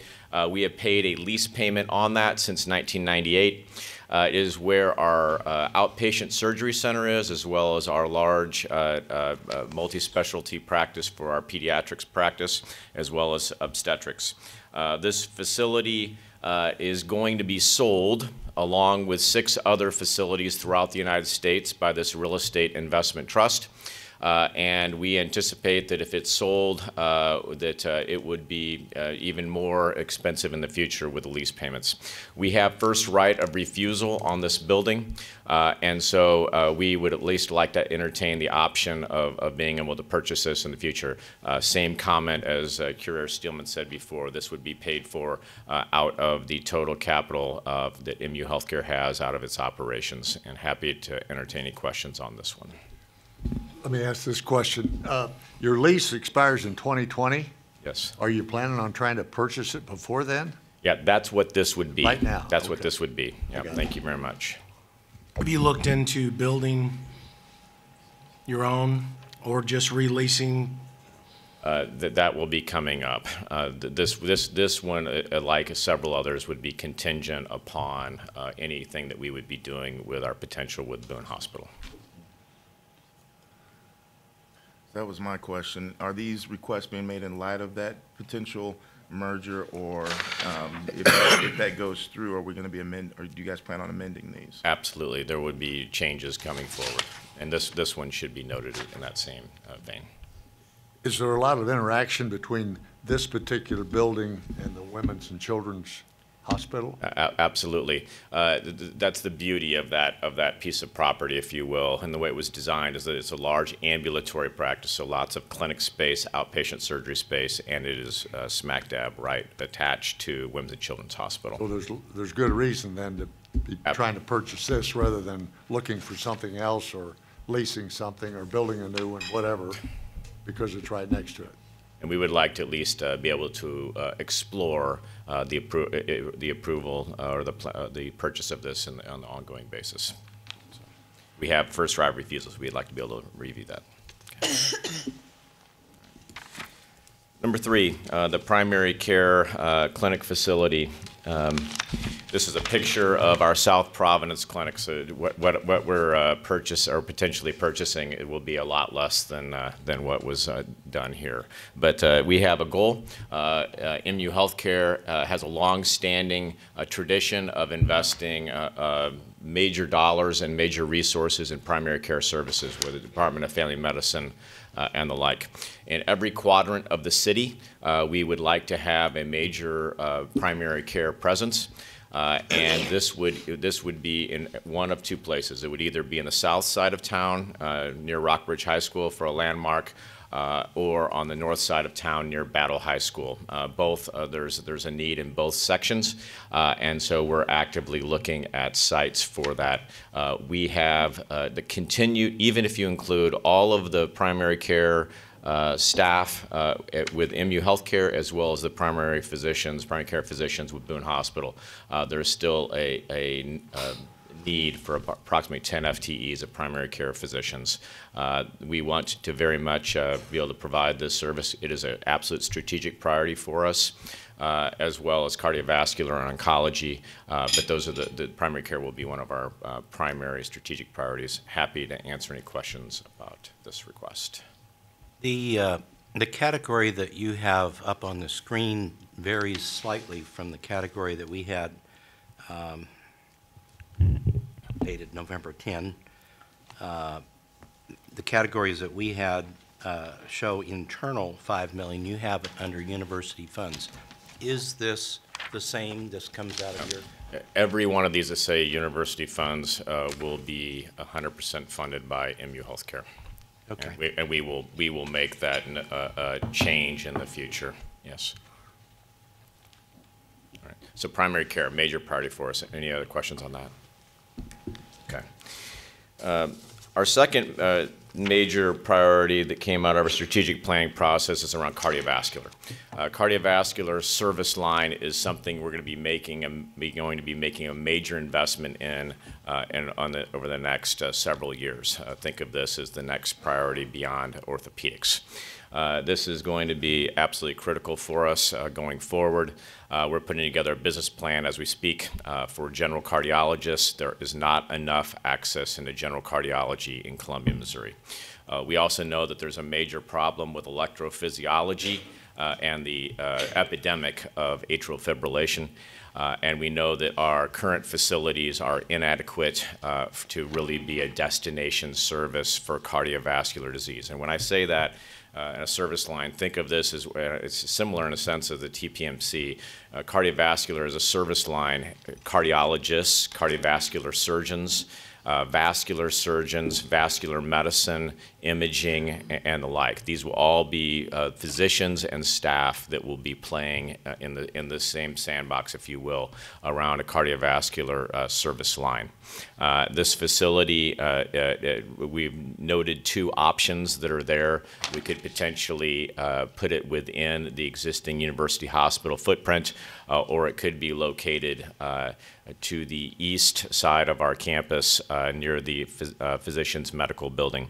Uh, we're still looking into this. However, we want uh, we, this is approximately 15 to 16 million dollars once again out of MU healthcare funds. Uh, it will be a major priority for us. we, want, we want the board to know about this uh, in advance. Happy to answer any questions about that. Jonathan, a different price, internal, building in the hospital or building your own building? Any, I mean, I think that that would be, need, need to be done as a part of our planning process. Uh, It's been my take, Curator Sunvold, that uh, renovations of existing facilities oftentimes are more expensive than new facilities. Any more questions on uh, the capital, five-year capital plan for MU Healthcare? John, do you? no, he's got one. And then there, and then I, I- as a note item, uh, there's the, there's one more, uh, request here, uh, uh, that would be related to Boone Hospital. Uh, if things do not progress with Boone Hospital, we want the cur- Board of Curators to know that, uh, we, on our, on our University Hospital campus, the main campus that holds, uh, uh, two hundred and five of our, uh, beds, uh, and a lot of our, practice, if you will, it was built in 1956. This building has served us well, and we've made major, major investments in it. However, it, it is past its useful life, and we want the, the board to be aware that this will be uh, potentially coming down the pike uh, if things do not progress with Boone Hospital. The same thing can be said for women and children. Uh, the facilities or the dollars that potentially it would get approved for the skin as well as the uh, medical pavilion. Uh, th- those are buildings that have, once again, are, are older buildings, and and that would potentially is for, and we are full for sure at women's and children. So that would be another item that is out there. And then, if we truly want to be a destination uh, medical community, and I think we do, uh, more and more and more of our, of our dollars will be need to, need to be invested. Capital dollars need to be invested in a multi-specialty group practice uh, analogous to what they would have at the Cleveland Clinic or at Mayo. Uh, and a lot of these dollars that are out there over the next, I would say, five to 10 years uh, are going to be things that I think that the board would need to, need to know about it. Now, if things do progress at Boone Hospital, that does not mean that we won't have to spend any of these dollars. I want to be clear on that. Uh, however, we, we do, I want the board to know that this is, that we're pro- trying to be proactive and, and, and thinking about contingencies. Yes. Quick question, Jonathan. Um, Is there a re, uh, it's great you guys can fund a lot of your projects. You guys are, you know, um, uh, have a, have a s- substantial revenue um, stream.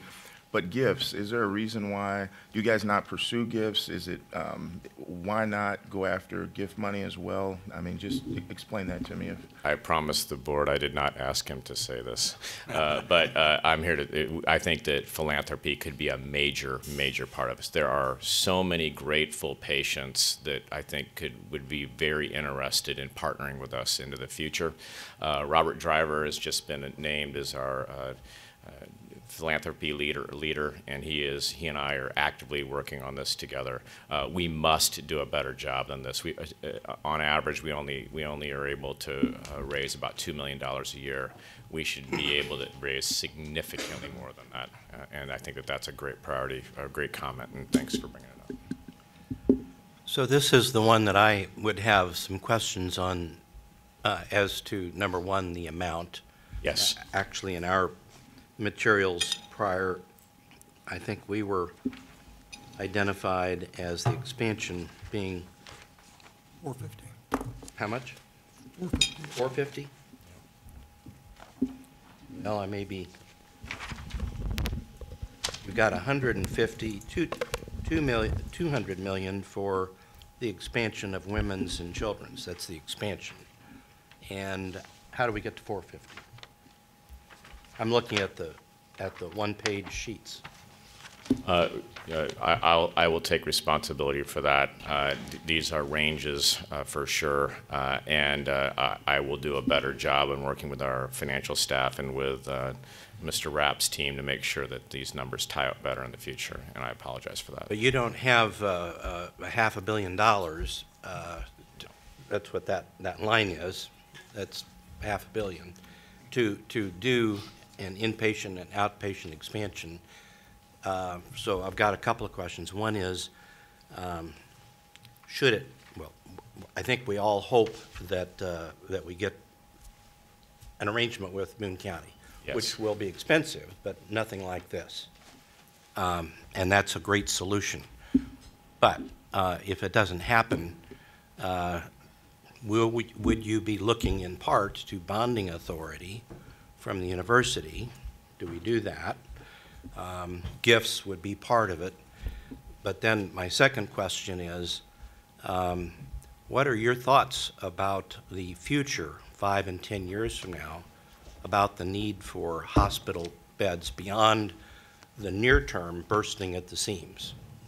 You're bursting at the seams now, but in five or 10 years, uh, unless the feds ease up on us, they're going to be wanting us to do a lot of primary, in-home, uh, and ancillary care, not in the hospital.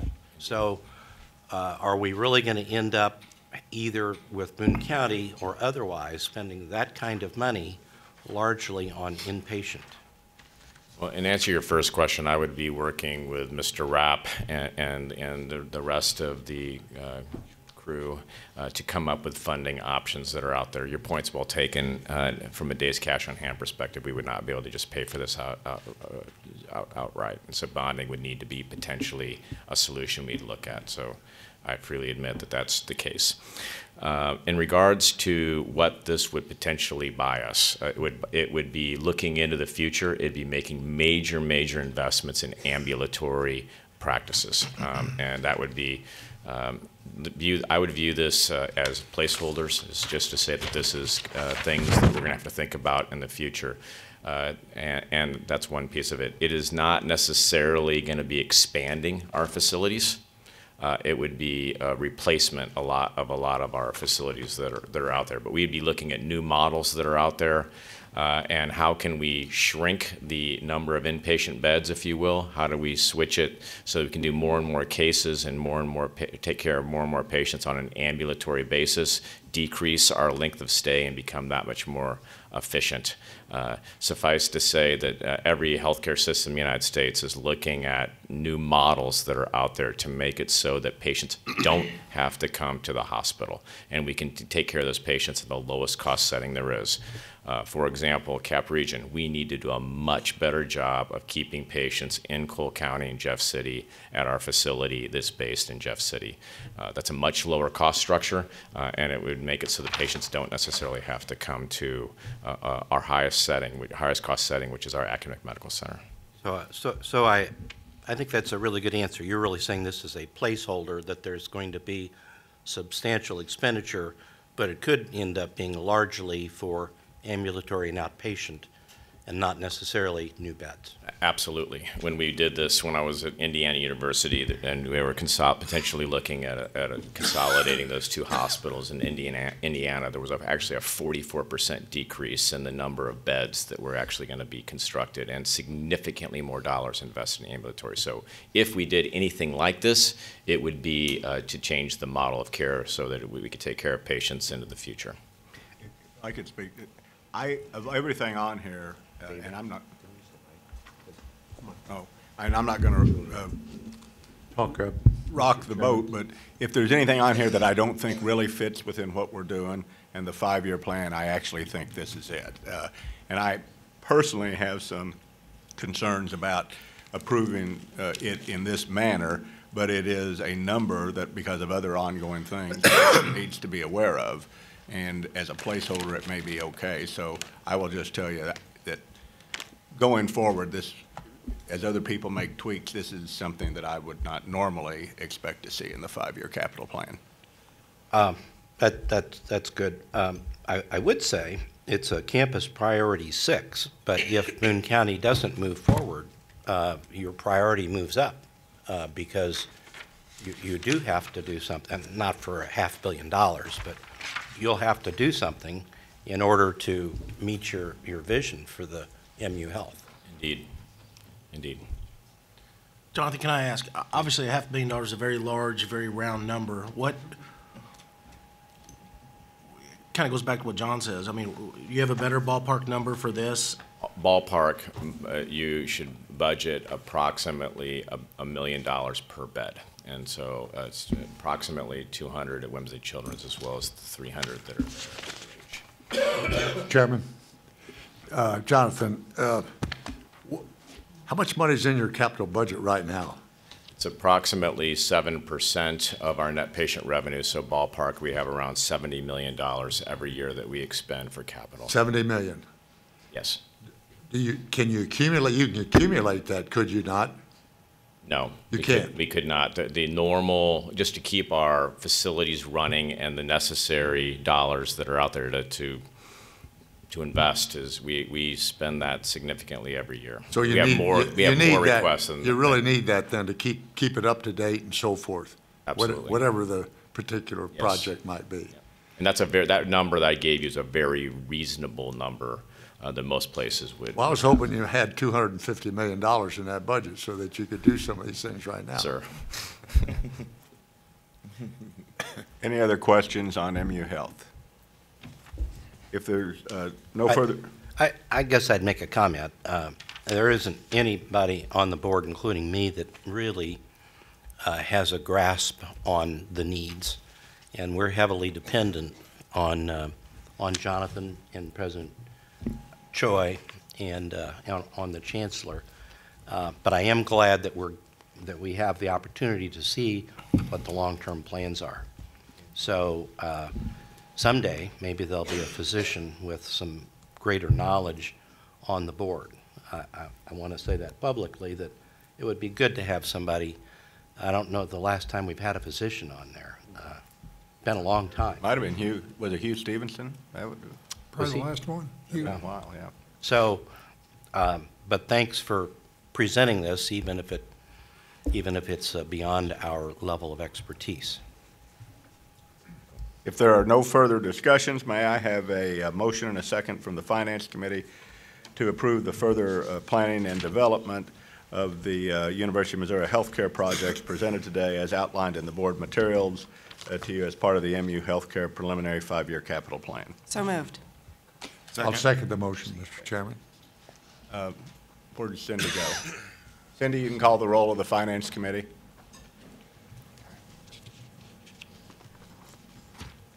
Curator Brncic? Yes. Curator Chatman? Yes.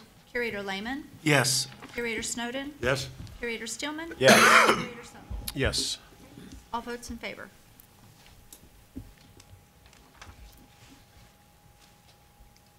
Yeah, motion. Chairman, we have, uh, whenever you're ready, we're ready to move forward to the preliminary five-year capital plan for University of Missouri, Kansas City. All right.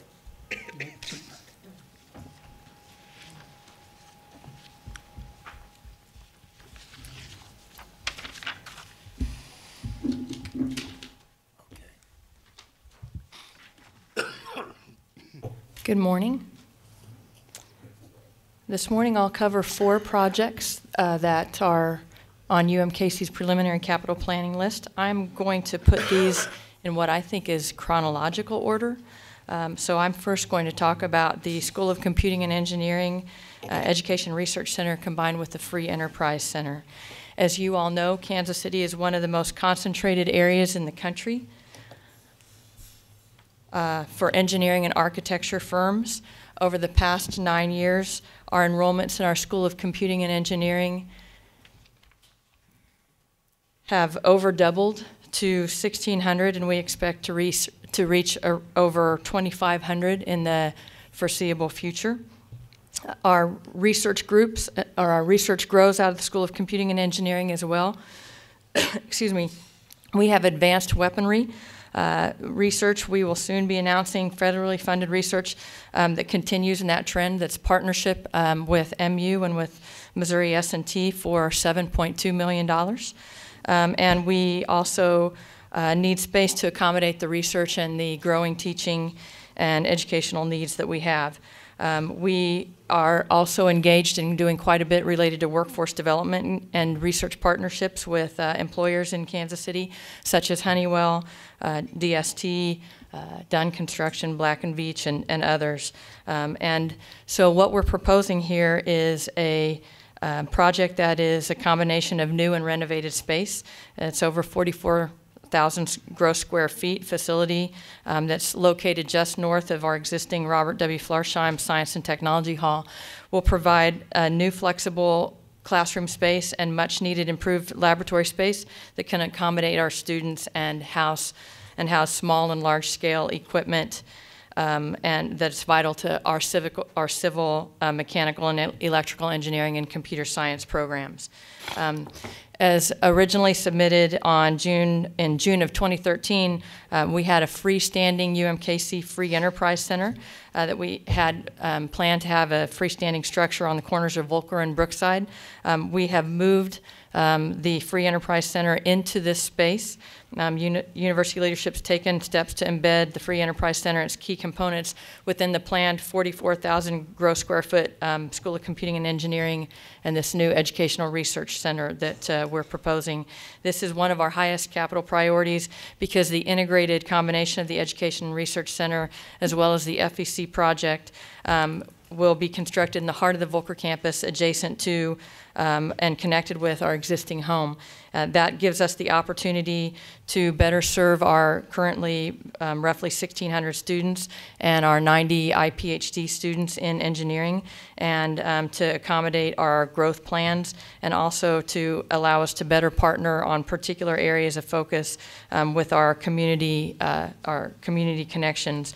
We need larger and more interactive lab space and the classrooms will allow our faculty uh, to optimize their teaching, their mentoring, and their research uh, in hands-on laboratory experience. Uh, these will, um, this facility will house 3D printing, um, some sophisticated equipment, and uh, it will be located not only in our academic quad, but also accessible to the community um, coming off of Rock Hill Road.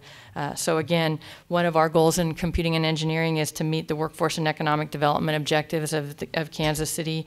Um, we are constantly in conversations with, with uh, um, companies such as Cerner and Garmin and Sprint, and again, Honeywell and others uh, to help grow their needs in these particular areas. Happy to answer any questions on this particular item. I just have a general question, or maybe it's more of a statement uh, first. Um, UMK seems to consistently do an excellent job of getting gifts uh, provided um, from the community. Uh, don't mean to look ahead in the slide deck. Um, what do you attribute that to? What do we attribute to getting good gifts from the community? Your ability to fundraise better than what seems to be the rest of the campuses.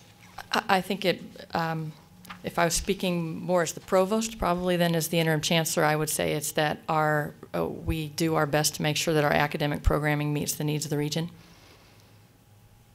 Do you think there's a way or an opportunity to partner with some of the other universities in that regard? Uh, actually, for example, I, um, as I mentioned, that we're we will be announcing soon uh, significant federal funding that's actually in partnership to to meet, I think, state and federal needs um, around. Well, uh, we'll announce that uh, shortly, but but we are in partnership with with MU and with S&T on that. I do think um, we're actually partnering um, with UCM uh, in their Lee Summit campus to do some things to promote the workforce um, using some of their technical programs and moving them into engineering. And so we're always happy to have partnerships and look for opportunities to meet those needs. Thank you.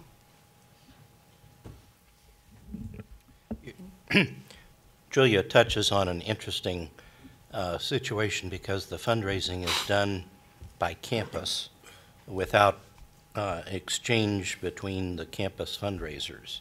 And there are situations where there ought to be a university approach to some of the um, metropolitan uh, collaborators. Um, and and uh, UMKC, I think, is has been and is willing to to work on particular projects, and and the TPMC would be an example of where some, some folks in Kansas City ought to have an interest. uh, And uh, I think UMKC's willing to do that uh, because of the potential collaboration between the schools. So um, I, I, I, I think you've touched on an issue that, that, uh, looking at now President Choi, that uh, we, we ought to make sure that there is uh, an openness to that, both ways. Of course, Yeah. yes.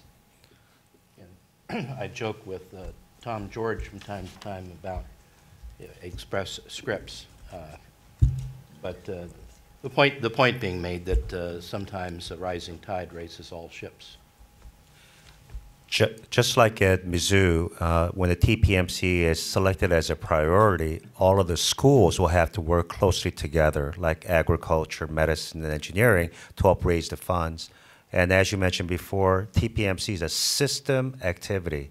And so we have to uh, work closely with the campuses and their donor base to support this very, very important project. But that's just one example. We have to coordinate better in some of these activities. And I do think we'll speak more to that um, when we talk about our fourth project on our list today and what the opportunities are there.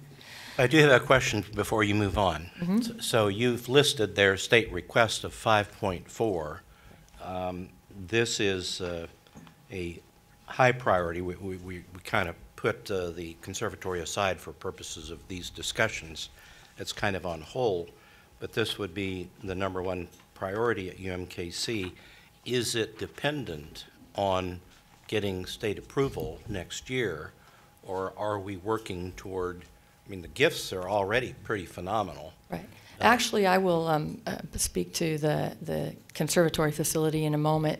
Um, On this one, though, we are planning on bringing this to the board in December um, because we actually have um, gifts in hand, grants in hand. The state request is um, a lower amount than had, or had been appropriated for the Free Enterprise Center. And so um, we are hopeful that the um, we will be able to work with the state to have that money, but we do plan on bringing this in December to the board.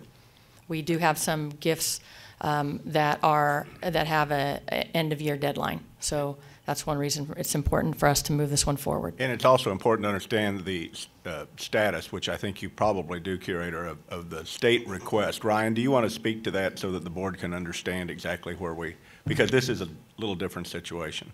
Cor- Correct, because we're we're combining two projects. Uh, We actually have 6.6 million that has been appropriated and it is available to us today from the state for the project. What we're seeking would be in December to come back and move forward, and we'd only need 5.4 million to make the project move forward. In other words, in this case, we have the state money. Yes. Sorry, sorry for the long-winded. Yes, I, I have a question. Uh, Can you give me an estimate on the number of students that would go through this facility over the course of a full year? Uh, Well, just in terms of the School of Computing and Engineering students alone, that's um, right now 1,600 students. Um, But then in Flarsheim and, and using that facility, we have a, a number of other um, natural science related programs. We have physics using that space, we have chemistry using that space. So um, I, I can't tell you exactly, but I know at the minimum it would be that 1,600. Can can I ask, and this is a comment more than a question on this, and it actually goes to part of what you were talking about, Julia, too. Uh, And I'm not taking the chancellor by surprise. I told her, I, I am, again, as we're, as we're trying to make this, this process work and we're trying to take it seriously, uh, and I know this is a sensitive issue, uh, to me, I, I'm not comfortable with the priority of the conservatory right now as one, and this one as two, because as I would understand how we set priorities, this is, is the kind of project that very much deserves to be called the top priority on a campus. It does not only meet all of the state's requirements of- of workforce training and development, the regions, the uh, uh, external funding. It, for example, on, on the uh, scoring, it has a conservatory at 10, and this one is 10. But this, in this project, the gifts have actually basically financed the whole operation with, with some state money. Uh, Again, I don't want to rock the boat, but as we move forward and think about this, uh, I think it is a mistake for this not to be the number one priority. And, and I understand we have sensitive issues, but sensitive issues are what we as a board are supposed to deal with and what we're going to ask our chancellors to deal with, and that is to make those kind of tough uh, uh, decisions and statements. But I'm looking at you, John, because I know this is a particular interest to you. Yeah, well, um, I, I think they're equally critical. Um, I think UMKC considers this one a done deal. I asked the question to make the point, we're not going back for more state funding for this project. It's, it's, it's that close, it just needs approval next month.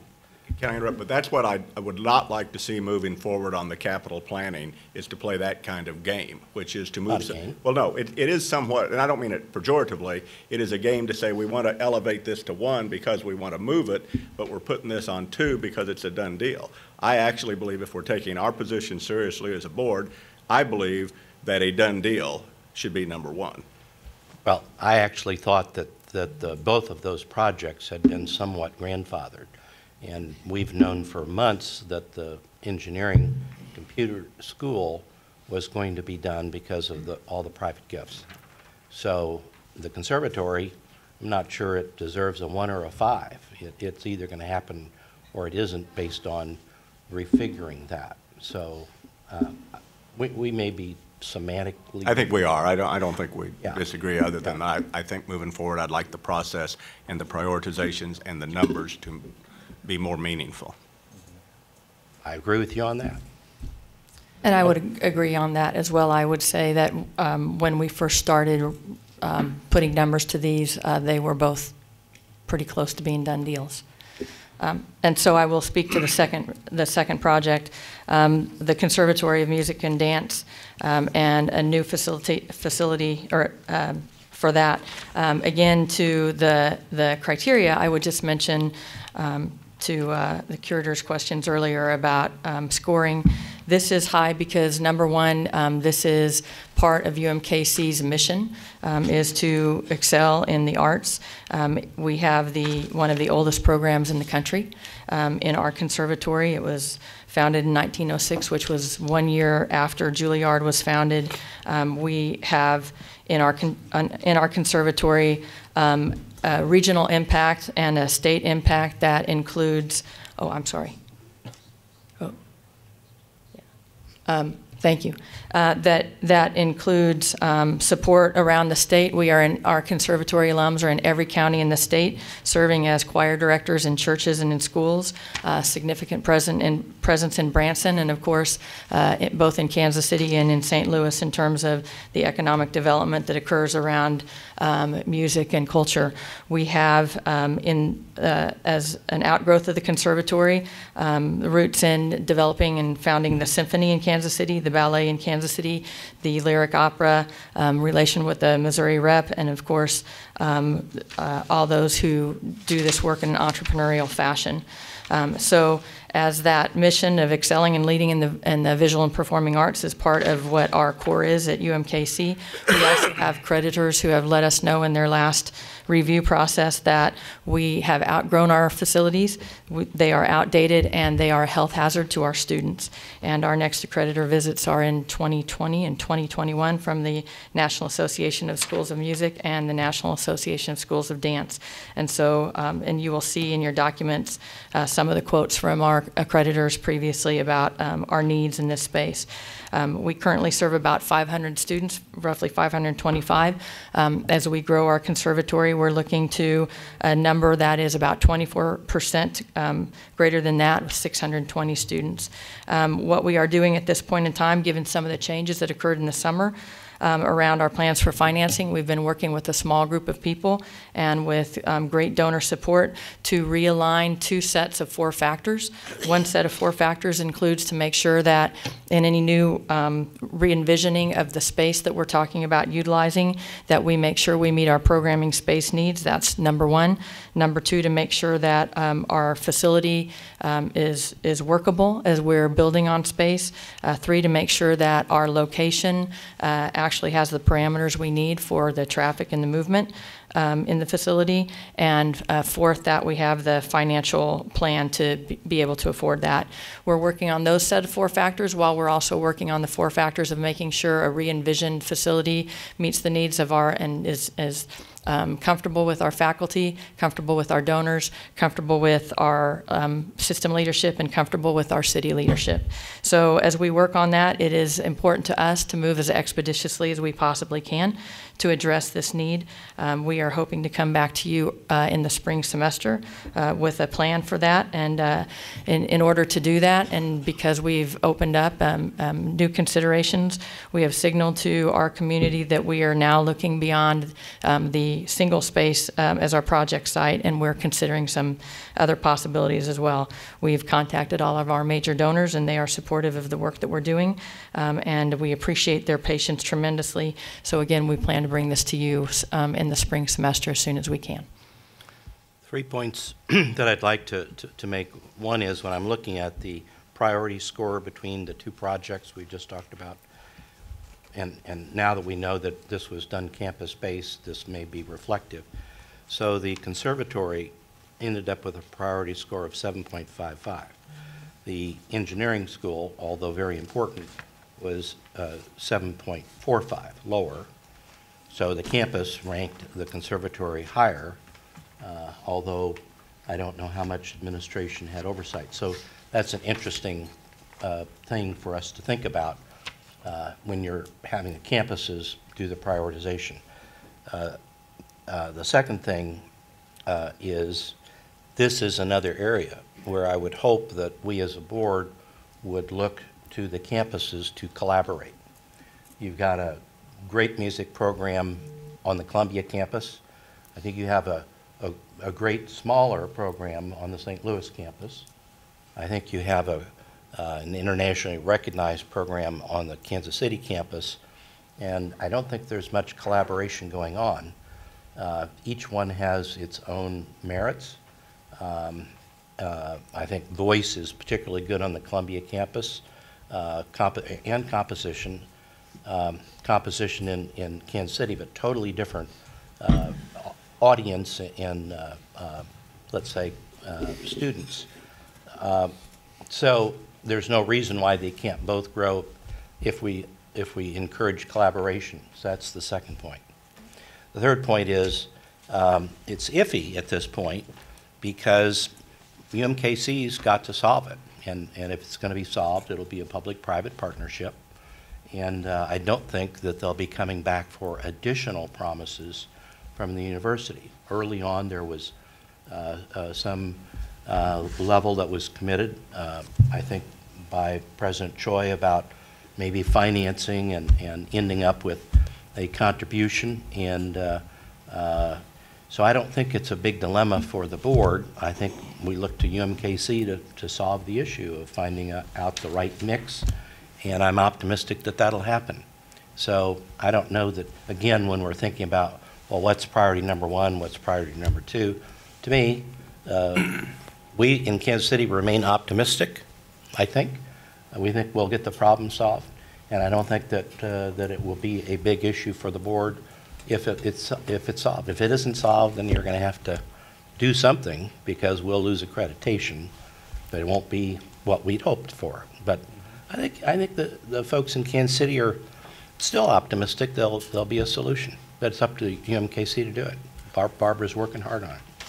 And, and I want to go back to my point about um, the board's um, goal in this process versus the campus's role. It really doesn't matter to me if it's ranked one or five. By the time it gets to us, then we're going to make our own priority um, list of what's important to the system as a whole um, as we move forward. So I'm not too worried about whether it's one or two or what, what the campuses are doing in order to create that process. I think it's something that deserves some weight, but probably not a whole lot of weight as we look at, or as we evaluate these projects, because we're looking at different criteria as a, as a board, so.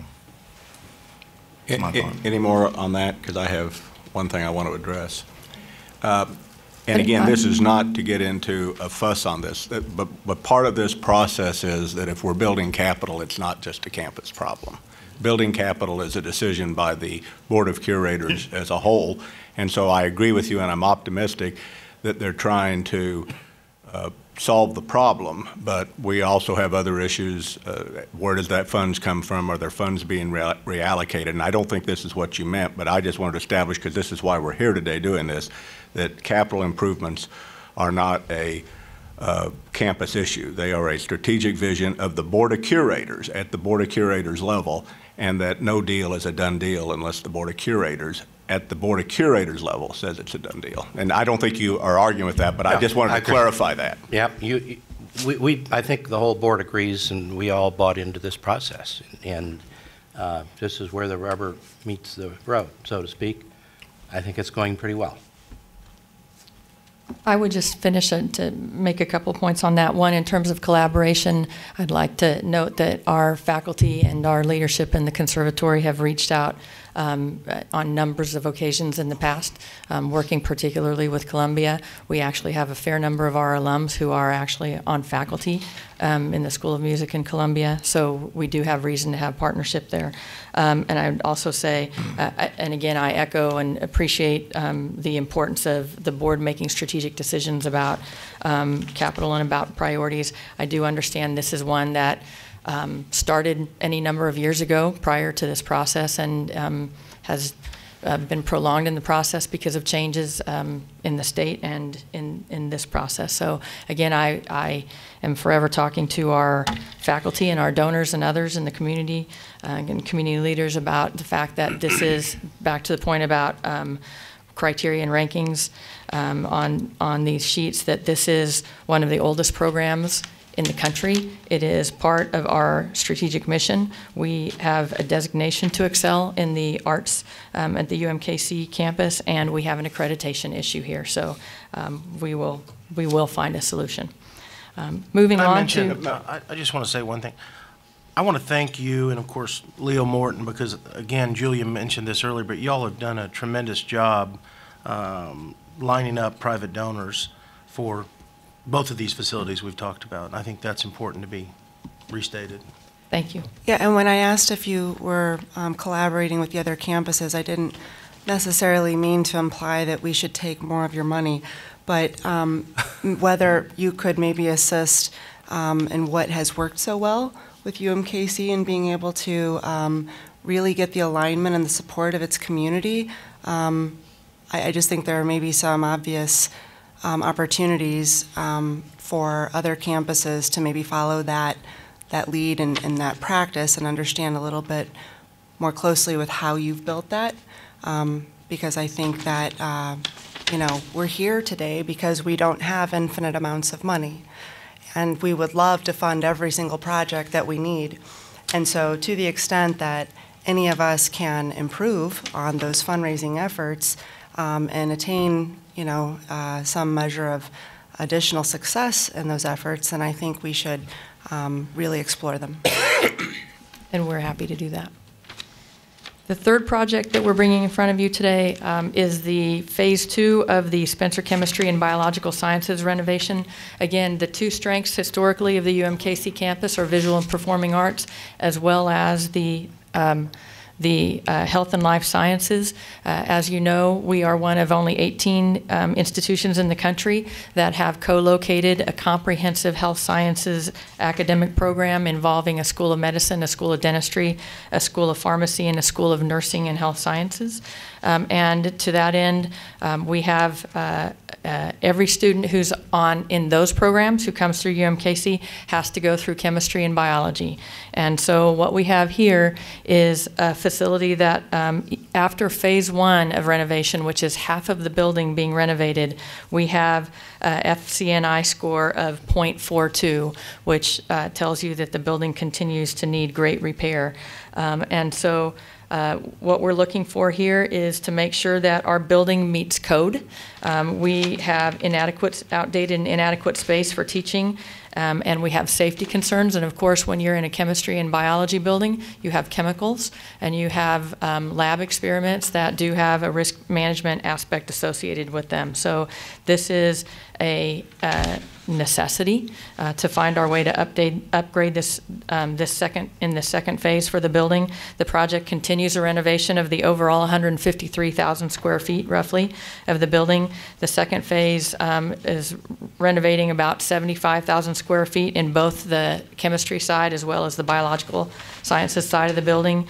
Um, And what we're looking to do here um, is uh, finish Phase One in July 2018, and then start our work to address additional deferred maintenance, research space, teaching spaces, and other facility deficiencies that were beyond the reach of the Phase One budget. Um, The renovation will provide state-of-the-art teaching labs, and again, um, when I talk about teaching labs, there's research that's being conducted there, there are experiments being co- conducted there, there are chemicals being used there that it's important that we address, as well as, uh, as animals uh, being used there. Um, So we need to address that and the support s- spaces and make sure that we have improved laboratory systems to support our research activities and meet current lab standards and encourage uh, students' collaborative learning. Again, you can anticipate that on our health sciences campuses, um, we have roughly 3,370 students. Um, we have many more who come through the pipeline before there, um, before they get to those programs. And of course, they also take these courses for physics and geology and, and other programs as well. And we have roughly a 1,000 students a week going through this facility. Happy to answer any questions for you. Uh, Again, we have some, some gifts um, that we've already built in for this. We are looking to the state to finish this request. Um, We are prepared to, to try to do our part to um, do development around this, depending on what state appropriations are available. Um, But this has been part, again, of a larger process um, that, that uh, predates um, this particular process with the curators. And uh, so we're just continuing on the, the original plan. Question, if you don't mind. Again, the gifts, that's very impressive. Um, As far as the state request, I believe in the, in the engineering building, you were asking for 5.4, and I think we already have, okay, so that's baked in. Is this? No. Okay. So help me understand that process, because I would assume that the board would determine if we go to the state. Is that, or? Yes. You know, because, in other words, just looking at this sheet, it's extremely impressive that you've, obviously, that we've already got the 5.4.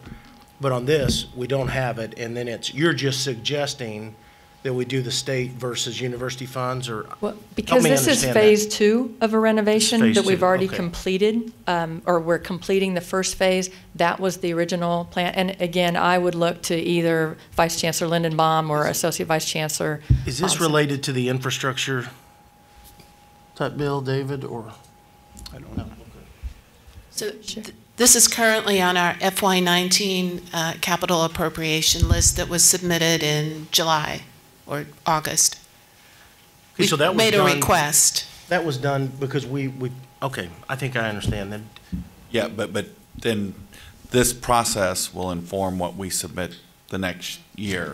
So- So I think, to your point, we'll be thinking about this as we move between this Right. meeting and March about what's the possibility, are there other alternatives? We submitted this stuff based on thoughts.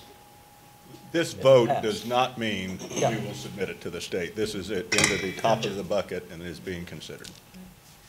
Now I understand. Again, I would say on all three of these, all of the first three um, projects I've talked about, they have already been significantly in the works for some years in some cases.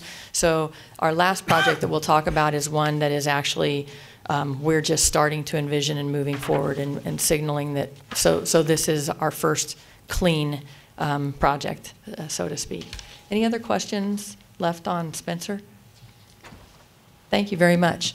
Um, The last uh, project is actually um, under one um, project name is a series of five projects. Again, I mentioned that we are, um, have a designation of uh, excellence in health sciences uh, in Kansas City on the UMKC campus and is one of our strategic priorities. Again, I, uh, you are all aware, I know, of the fact that um, we, uh, earlier in the spring, uh, rolled out with our partners on the health sciences campus, a health sciences district.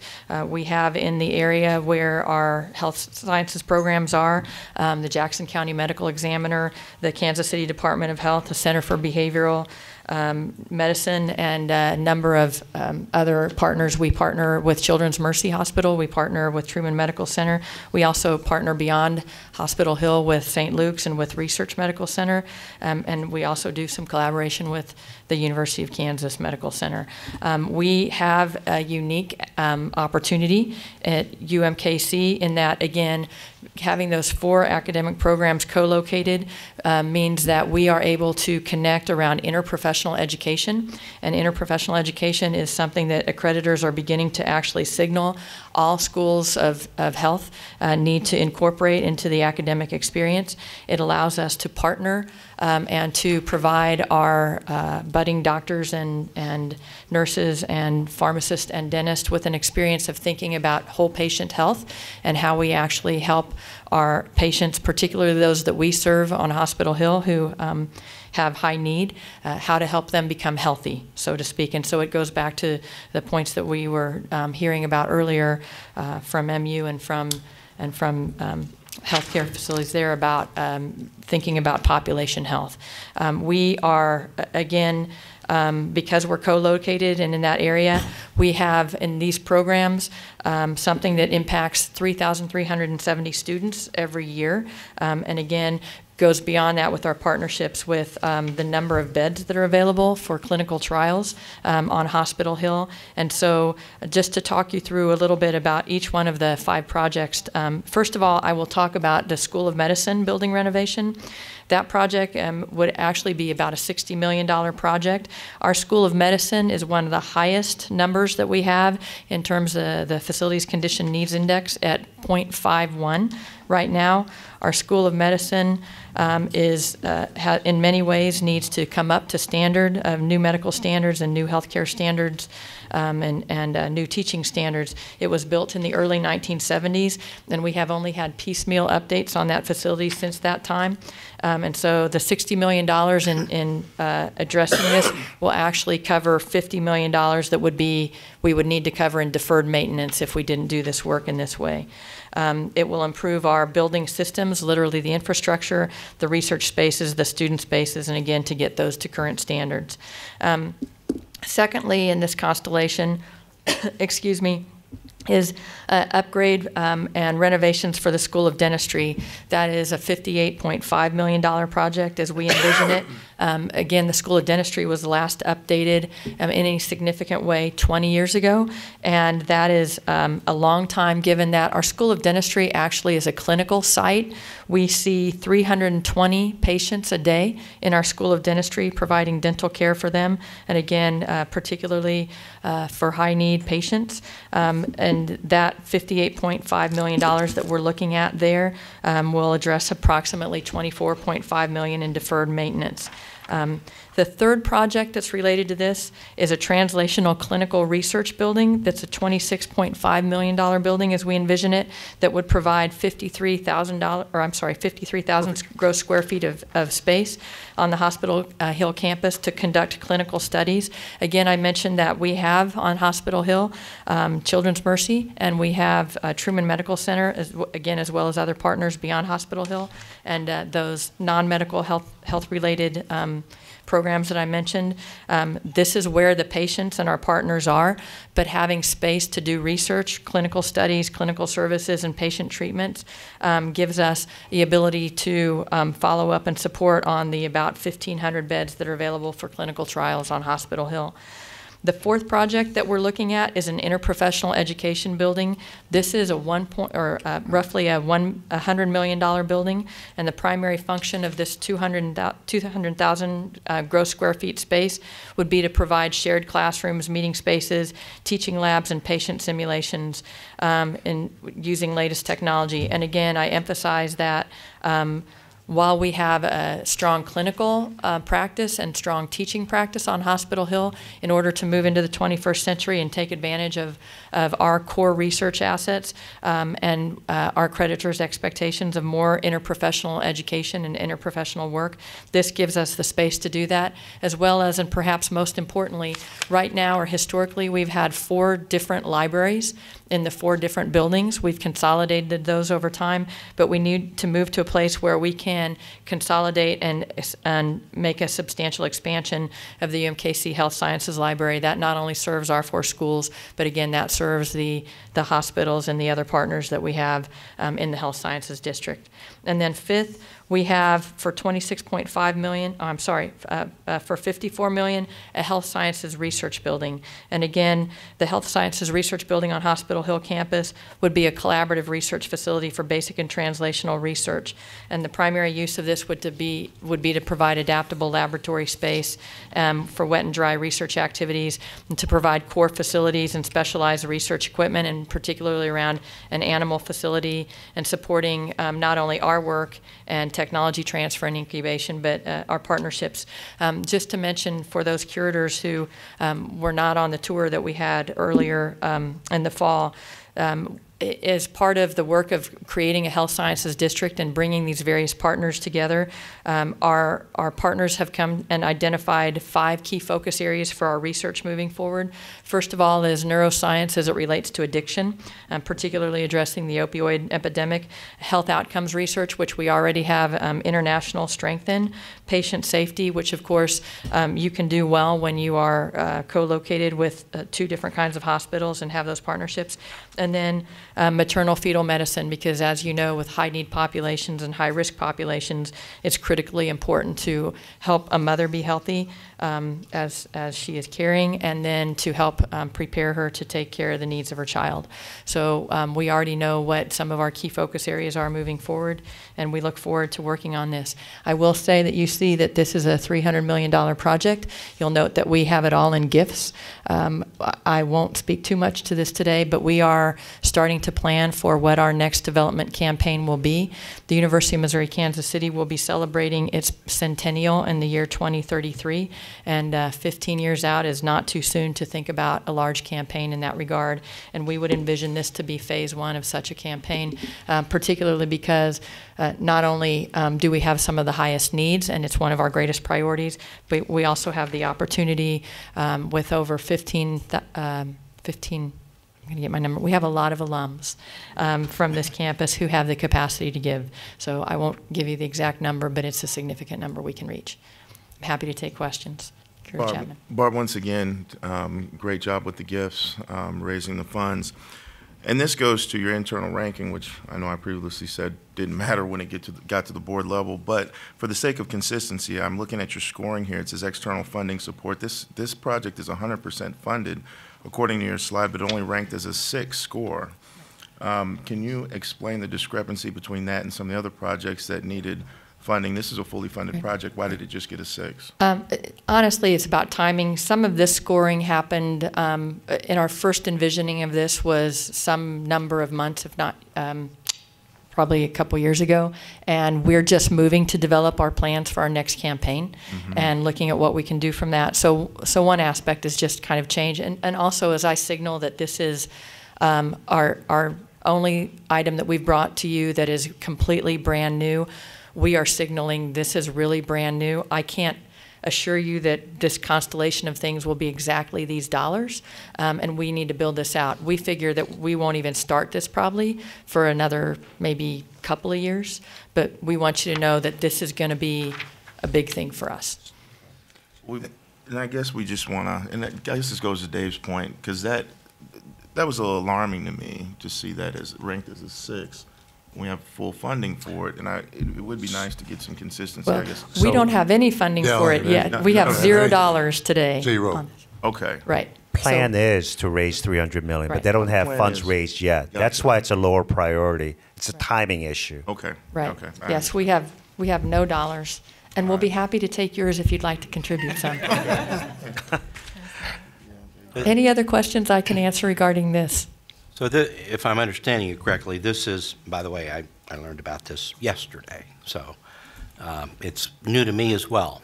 Um, This is a visionary, uh, uh, and a, and a first, but a large step toward really building a, a, a complex around the four disciplines, if I'm understanding this. Well, actually, in part, this is renovation as well as new. Um, It is not visionary to talk about Um, and it's not new to talk about our needs around our School of Medicine and our School of Dentistry, particularly. In fact, I think we had a study in 2010 that looked at. So seven years ago, um, we started thinking about what this constellation would be. But seven years ago, we started thinking about what we needed to do for our School of Medicine and School of Dentistry, particularly.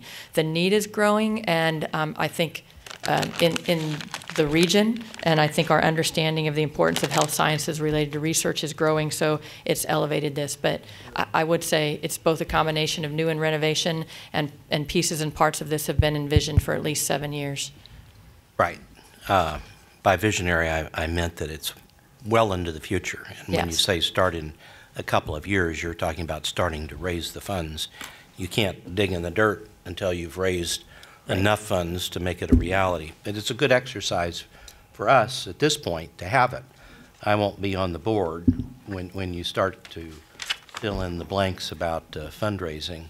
Um, I do agree uh, that this is a potential jewel for Kansas City and the, and the UMKC campus. We don't have a Washington University or St. Louis University uh, that, uh, that, that detracts from the ability for UMKC to be a great, uh, a great university.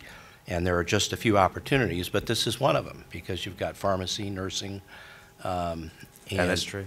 uh, dentistry, and, and of course the med school.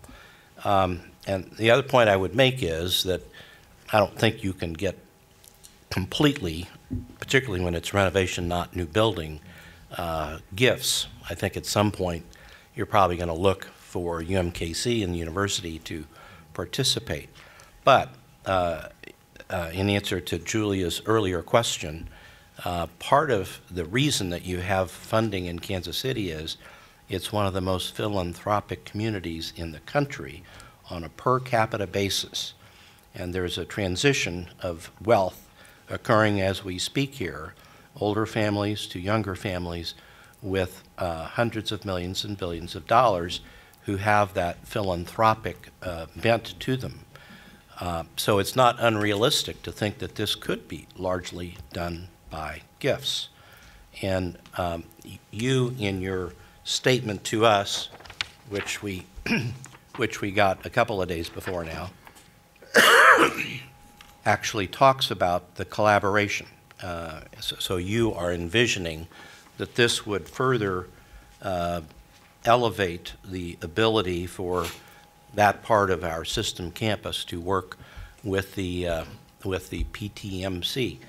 I will say this, that part of the plan that you've preve- presented here is a translational clinical research building, um, and not inexpensive. Uh, You, you really can't tell how much of that is the $300 million. Uh, I'm not going to be around when you all deal with this, but my personal feeling would be, I'm not sure you need a building to engage in translational research if you're truly partnering with the MU TPMC. Uh, electronically, uh, you can be co-authoring articles, you can be sharing research. Right. Uh, s- So of what you've put out here, I think it's great. I do think that there will be a lot of private interest, but we don't have grateful patients in Kansas City. They're, the, uh, the patients uh, at Truman are, have no ability to, to actually make contributions. The patients at Children's Mercy and the patients, uh, parents of the patients at Children's Mercy and the patients at St. Luke's contribute to those hospitals. And because of our inadequate attention to the medical school and the health sciences, uh, Children's Mercy has moved toward KU every year. They move some of the programs away from UMKC, and it goes to KU. So I'm just sounding the alarm here that if you want to continue to lose that and that research, they do substantial research. I think one of the top five or 10 uh, um, children's hospitals in the country, uh, then ignore UMKC's uh, health system. Uh, s- So I'm excited about what you're proposing, Barbara. Uh, I have reservations about another building on translational research. I think that train has left the station, and it's going to be located in MU. And uh, That's all I've got to say. I wish I'd be around two years from now when this moves from. Will be. I will be. Uh, I'll be here. Yeah, I will be, I'm not on this board. Uh, I won't have this voice. So I'm using my voice. I'm using my voice now. So, so it will move from a priority score up, and I think that the campus priority will go up as well. Th- This is the opportunity of the future for UMKC. It isn't, what was it called, singing and dancing at the conservatory, although that's hugely important currently. Um, But engineering and the medical complex and partnering with what we've got in, uh, in Columbia uh, is the future of that campus. I'm speaking as a tiger, you know, I'm not So- speaking, I'm not a roo, I'm a tiger. But uh, uh, I wanted to You're make those points because in a couple of years, you all will be grappling with this, and I hope you have the fund, the fundraising started. And let's not, let's not alienate those donors in Kansas City. That's all I've got to say about that. So, thank you, Barbara and I and all of the chancellors will develop programming that collaborates. We don't want to duplicate resources or facilities, given the, the dearth of uh, resources that we have. So that comment is very well taken, and we'll put that to practice. And if I could just finish with a couple of uh, follow-up comments uh, for you to understand the concept. Um, First of all, I recognize that it's nascent, um, and, uh, and when I said, you know, we don't have a dollar yet, it, it's because you really are getting this. We wanted to codify this. One reason we wanted to do that is not only because we do want to signal our opportunities and our willingness to collaborate with MU, but we also want to take that point that Curator Phillips made, which is um, there are things happening in Kansas City um, around competitiveness in the healthcare space, and we need to signal that we are moving forward to be um, as up to date as we can. Um, there are conversations around other schools of dentistry, and there are conversations around um, strengthening um, uh, for-profit and other institutions, medical programs. So, so we need to signal that we are going to be um, present and working. I'd also say um, we do, I just remind people, have a very unique medical program in the fact that we have a six-year medical degree, which allows us to draw some of the best and brightest from across the nation and to our program. And to that end, um, when we talk about gifts and that 300 million, I do want to make clear that we, uh, to, to Curator Phillips' point, we certainly have a wonderful community in Kansas City um, that, that supports uh, UMKC, but our alumni are around the world, um, from the School of Medicine particularly. We have strong pockets um, and people who are leaders in healthcare um, with the military and with the federal government and in um, organizations such as um, the National Institutes of Health and in private practice and in governing boards. Um, and it has a lot to do with the fact that they got a little bit of a leg up being in a six-year med program. So we have strong pockets in Los Angeles and Washington, D.C., as well as in St. Louis and just across the state. So our alumni are, are certainly ready and willing for a visionary idea to step up and give in this.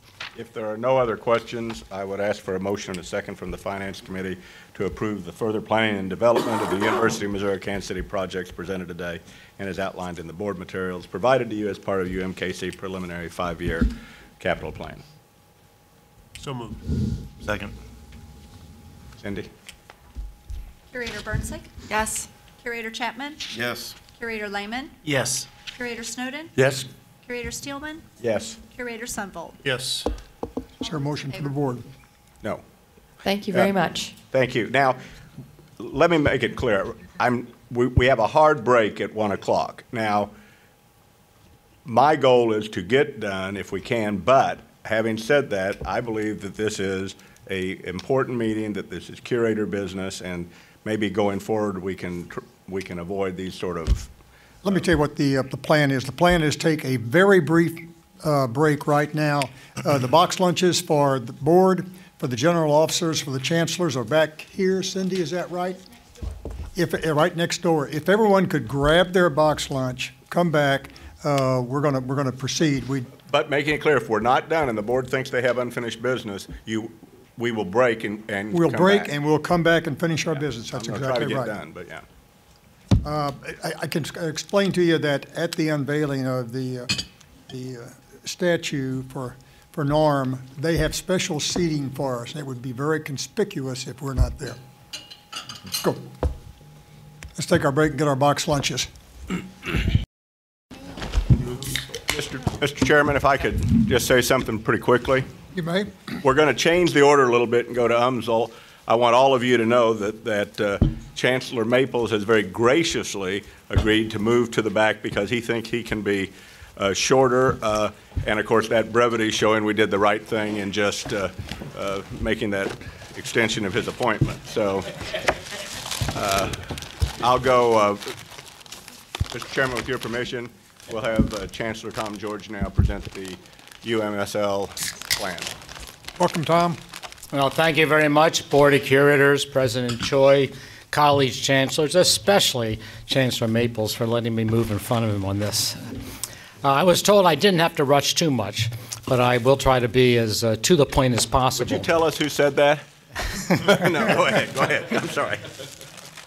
What I want to do is, this will be just a little different than what you've uh, seen with the other three presentations, is I'd like to give you a context for what I'm going to be proposing, because what I'm going to be proposing doesn't, is, has no whiz-bang stuff. It's not an excited new building, it's not this and that that you've heard up to this point. It's stuff that goes inside the walls, it's stuff that is maintenance and repair renovation, critical for our campus, but I want to give you the context of why I'm proposing that. We just got off the biggest capital building spree of the history of the university. We started from scratch in 1963. We were a country club, a golf course, and a lot of building took place in the 1960s. And while we're the youngest campus in terms of age, you know, 53, 54 years old, we're also the oldest campus in terms of buildings. And we also inherited a number of buildings from the Catholic Church and then buildings that are all built in the 1960s. So we have a lot of work to do in terms of renovating the campus. Uh, we probably, it's fair to say, have excess space. Uh, we don't. We have a lot of room to grow and a lot of room to eliminate, and I'll touch base on that. But let me just touch base on some of the buildings we just completed in the last two to three years. One is the Science Learning Building. That's a building that is about to the tune of $32 million. And um, that particular building is sorely needed. It's uh, within the oldest complex that we have on the campus. It boards right on Natural Bridge Road, which cuts right through the middle of the campus. And that building, I, we are, I think we're about as creative as you can be with funding. Uh, that particular building we took out of our hide. It's $2 million a year with bond payments for 30 years, and we just took that out of our operating costs. Now, you can argue those are state dollars, but they're, it's not newly appropriated state dollars, so we would say this is not state funds, this is our own operating budget. Great building, and in fact, you, the new curators and their orientation next month, they're going to be able to see this building. We just completed a recreation wellness, recreation wellness center. The first question prospective freshmen have when they come to the campus is show us your recreation center. Well, we've got one now. It was a student referendum, so this is all paid by student fees. And actually, they had a, a fee of $19.25 per credit hour that they voted for, and we were able to get a lower cost to the building when we went out for bid. So the building, instead of being $36 million, is $33 million, 100,000 square feet, totally student funded. So that's one type of funding. Now we also have an UMSL Patient Care Center. All this just recently completed. The Patient Care Center is part of the College of Optometry. It's $17 million.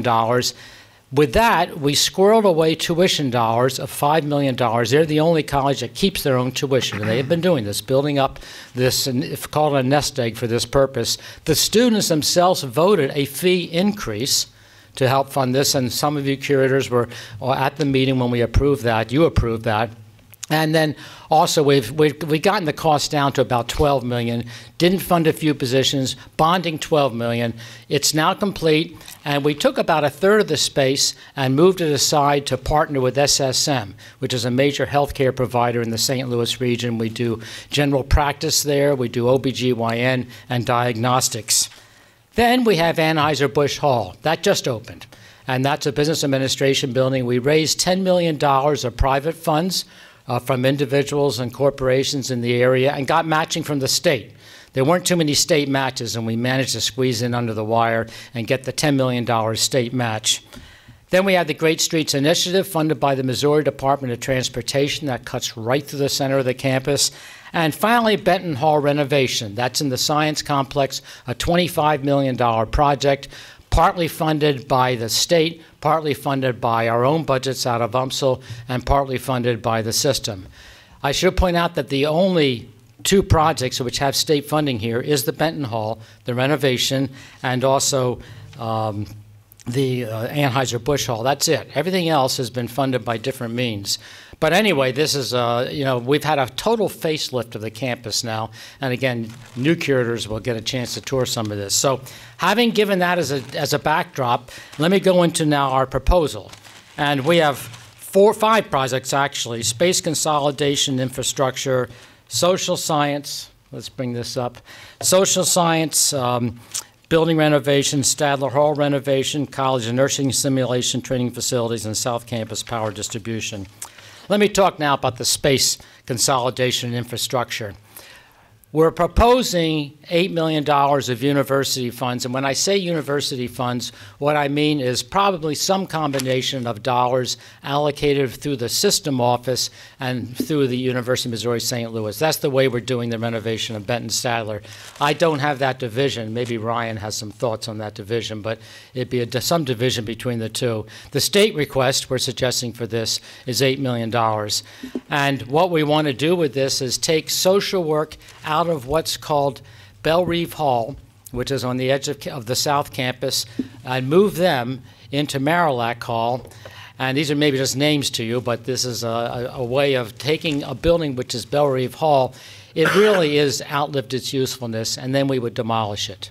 We've done that before. For example, we bought an osteopathic hospital on Natural Bridge Road, and we demolished that and then that made space for the new optometry patient care center. And that would also lower our FCNI index. It would reduce, it would actually eliminate $22 million from our facilities condition needs. And that's kind of a driver in a lot of what we're doing. We have, the campus has driven up to, at one point was up to 0.39. Higher is bad with FCNI, lower is better. And we want to get ourselves down as a campus as close to 0.3 or even less as possible. And this would also reduce operating costs by, you know, about uh, half a million dollars. Uh, this would also take the College of Education and move them from some administrative offices they're at into Marillac Hall. Marillac Hall has been vacated by optometry going into the new patient care center. And then also we have a standalone building for music inherited from the Catholic Church and we would move music over to the J.C. Penney building and then eventually take down the music building. A lot of what we're talking about now is taking buildings down. Getting the signal from the president. Move on, okay? Uh, let's go to the social sciences building renovation. Uh, here we're proposing university funds of nearly $8 million, a state request of a million dollars. And what this would do is a social science complex. It's got, as you would guess, social sciences departments. Also has the tower, and you can see the tower there, and also the social science uh, departments. Um, what we, we would do there is provide more state-of-the-art classrooms. We have several already, which are very well used, and we want to now add some more to that to that enterprise. Stadler Hall renovation. In the science complex, we have the new science learning building. We have Benton Hall, that, which is undergoing renovation right now. We have a research building. then we have Stadler Hall, largely occupied by biology and biochemistry. And what we would like to do is renovate about 82,000 square feet of this, again, providing state of the art in terms of laboratory facilities, like we've got in the new science learning building. And this would knock off $26 million from our facilities condition needs. I should mention that I think system-wide, uh, there's about, in terms of M&R needs, about $1.5 billion. We're about 350 million of that. So we're methodically looking at how we can whittle down on, uh, on knocking down our maintenance and repair needs. Then we have South Campus power distribution upgrades. Uh, on the South Campus, we get our power from utility poles. On the North Campus, we have our own substation. What we're proposing here now is to get a substation on the South Campus. It will be less expensive for us than to operate the South Camp, the substation the sub, on the South Campus. Uh, we, our bills are made to Ameren, and but this is this would be something that's really more efficient. And so that's uh, that university funds. This is not a state request, and we're, we're trying to identify $9 million of university funds. The last item I have is the College of Nursing. And the College of Nursing has, uh, we've not, we've now have, what we're, we're- what we're not taking to you is our dream. That's sometime in the future. That first building we have for optometry, $17 million, it's part of a larger dream of a $90 million complex, which would include nursing. We're not bringing that to you now, but what we're trying to do is take care of nursing in the existing facilities. And we have particularly a lot of needs with terms of simulations uh, to become state of the art. We've got the second largest nursing program in the St. Louis region. We do compete with other nursing programs. There's eight nursing schools in the St. Louis region, so there's a lot of competition in the nursing region, but we've got an outstanding nursing program. And so we would like to renovate the space that we already have for nursing. So again, the new building is sometime in the future, but renovation. So everything I'm presenting here in terms of our proposal is maintenance, repair, renovation. It's not whiz bang. It doesn't have the same excitement ring, I guess, as uh, seeing a new building. But the point is, we just got done $150 million of new buildings. So that's my, that's my presentation. Any questions or discussion? I'm, I'm just curious as to why there's zero dollars allocated for gifts and all the other categories. Uh, for, for nursing? No, that's the only one that has any gifts allocated to it. Uh, The other projects had zero. I I- was just wondering if you had any, Well, we um, just finished with gifts on the business administration building, and we're now raising more gift dollars for that. We, that, that's part of a $45 million project, and we're, we're on our way to doing another $10 million for that. I just didn't put it here because it's not a priority, but no, we, we do raise gift monies. We, not quite the, the level that uh, UMKC has been doing. which is admirable, right? But um, I just think um, that for Gate B, I know that um, I will be asking what the plan is um, to raise money for any of these projects independent of um, state requests. Yeah. The reason we went, let me just comment on that, particularly with respect to the Science Learning Building. We did a feasibility study about five years ago for the Science Learning Building, and it came back very negatively in terms of the St. Louis community being willing to give monies for renovation and things of this sort. So uh, the Benton Hall, which we're renovating, we, we, just by the feasibility study, couldn't get private dollars. It doesn't mean now we can start again and try to do that again. Uh, but, you know, it, it, it's renovation in M&R is, is very difficult to raise gifts for. You get a dollar, Hmm? you get a couple dollars. Yeah. But your, your point's well taken. We'll continue to try to do that. Thank you. Sure. Can you go this, back to the substation? Yeah. mhm. Did, Here's a substation, yeah. so, I want to talk a little bit about that. I mean, is that, My understanding, and let me try to do the answer, and then maybe I'll, I'll defer to Larry Eisenberg, who is. trying to figure out like how soon that'll pay for itself, basically? Oh, well, Larry maybe can respond. How much would it pay for itself? We, we don't really, we don't really have a payback schedule for that right now. It, it, uh, Beth, I don't know. Going to, yeah, we have a problem on South Campus with the reliability of the power. uh, But by um, adding the new substation, we will get a lower rate on the utility. So it, it will eventually, I guess, pay for itself. It, it will lower the rates, but, but it's really more about reliability than anything else, I think. There's not an easier, cheaper way to do that? I mean, I, I guess I- that's what I was trying to understand. Than a substation? Yeah. Uh, Well, I mean, we have a substation on the north campus, which already gives us lower rates, and so we're trying to piggyback on that. My understanding, too, is, is if you get enough things together, you get a lower rate as well. So having two substations would get us an even lower rate. I mean, if we could come back, if you want, with a plan of.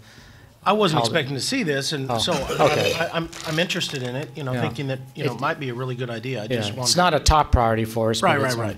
yeah. We did do a planning study back in 2010, and this was their recommendation for the most efficient way to improve the reliability of the power to South Campus. This is also part of um, really what we call the master plan, and I just want to emphasize that all the campuses have a master plan. We have a consultant, Sasaki, out of Boston, and so this is all tied in with the master plan. uh, then this is part of ultimately the master plan, which ties in with the capital planning.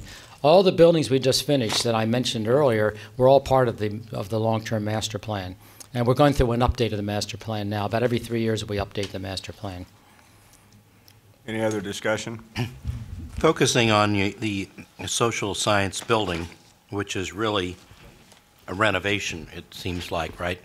Yes, a renovation and uh, an upgrading. I mean, I think when we talk about having more state-of-the-art classrooms, we've, we've put a few in there, high-tech classrooms, very popular. Doesn't matter what the discipline. And so we'd like to get a lot more of those. And, and I think you said that you've had some overbuilding. I'm looking at the disciplines that are housed in the social science building. And it doesn't, uh, first of all, it doesn't require much lab work. No, no. Um, There's no lab, there's no hard laboratories except computer labs. And there's not necessarily synergism between the, uh, the disciplines that are housed there. Is there any possibility, so I'm always looking at projects to think, do we need more, uh, do do we need even our current amount of classroom space? Uh, Because the shift toward distance learning um, and blending that, should we be spending more on IT, either at the campus or more likely at the system level? And this may be a building that if it costs 30, uh, almost 40 million dollars to re, to, uh, to renovate it, uh, are there spaces where those disciplines could be placed in other current classrooms and not have to renovate an old building, which costs more? Um, Is, is that something you've thought through? And 10 years from now, are we going to be looking to, to let go of more classroom space? Um, So I, I'm just raising that as an issue, is, Yeah, no, very is that good- where the money good should be spent? Well, let me talk about that a little. Um, Well, first of all, what we're, what we're proposing to do here in the social sciences is going to enhance online learning.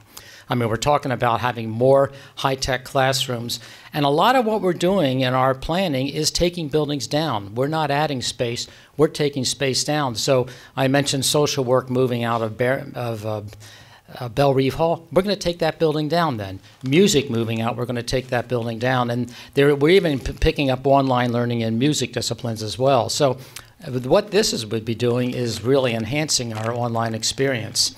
Uh, it's, the building exists. And so I think, you know, it's, it's difficult to talk about that tower and taking the tower down.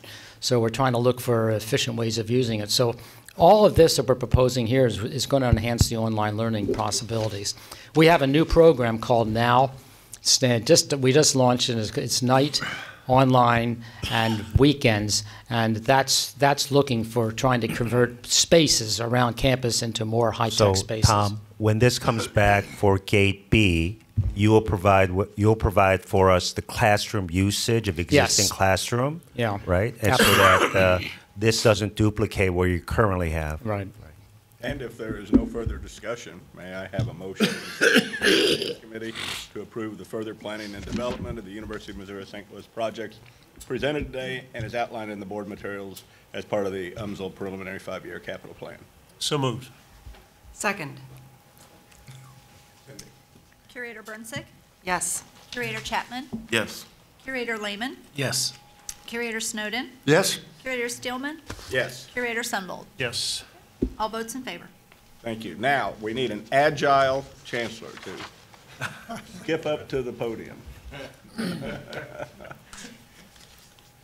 In all seriousness, while you're approaching, uh, Chancellor Maples has been very gracious in, in- in moving, and, and we're going to try, but, but it doesn't mean anybody should cut their questions short to get done so we don't have to come back. Go ahead, Chancellor. Thank you all very much. I will be as brief as possible.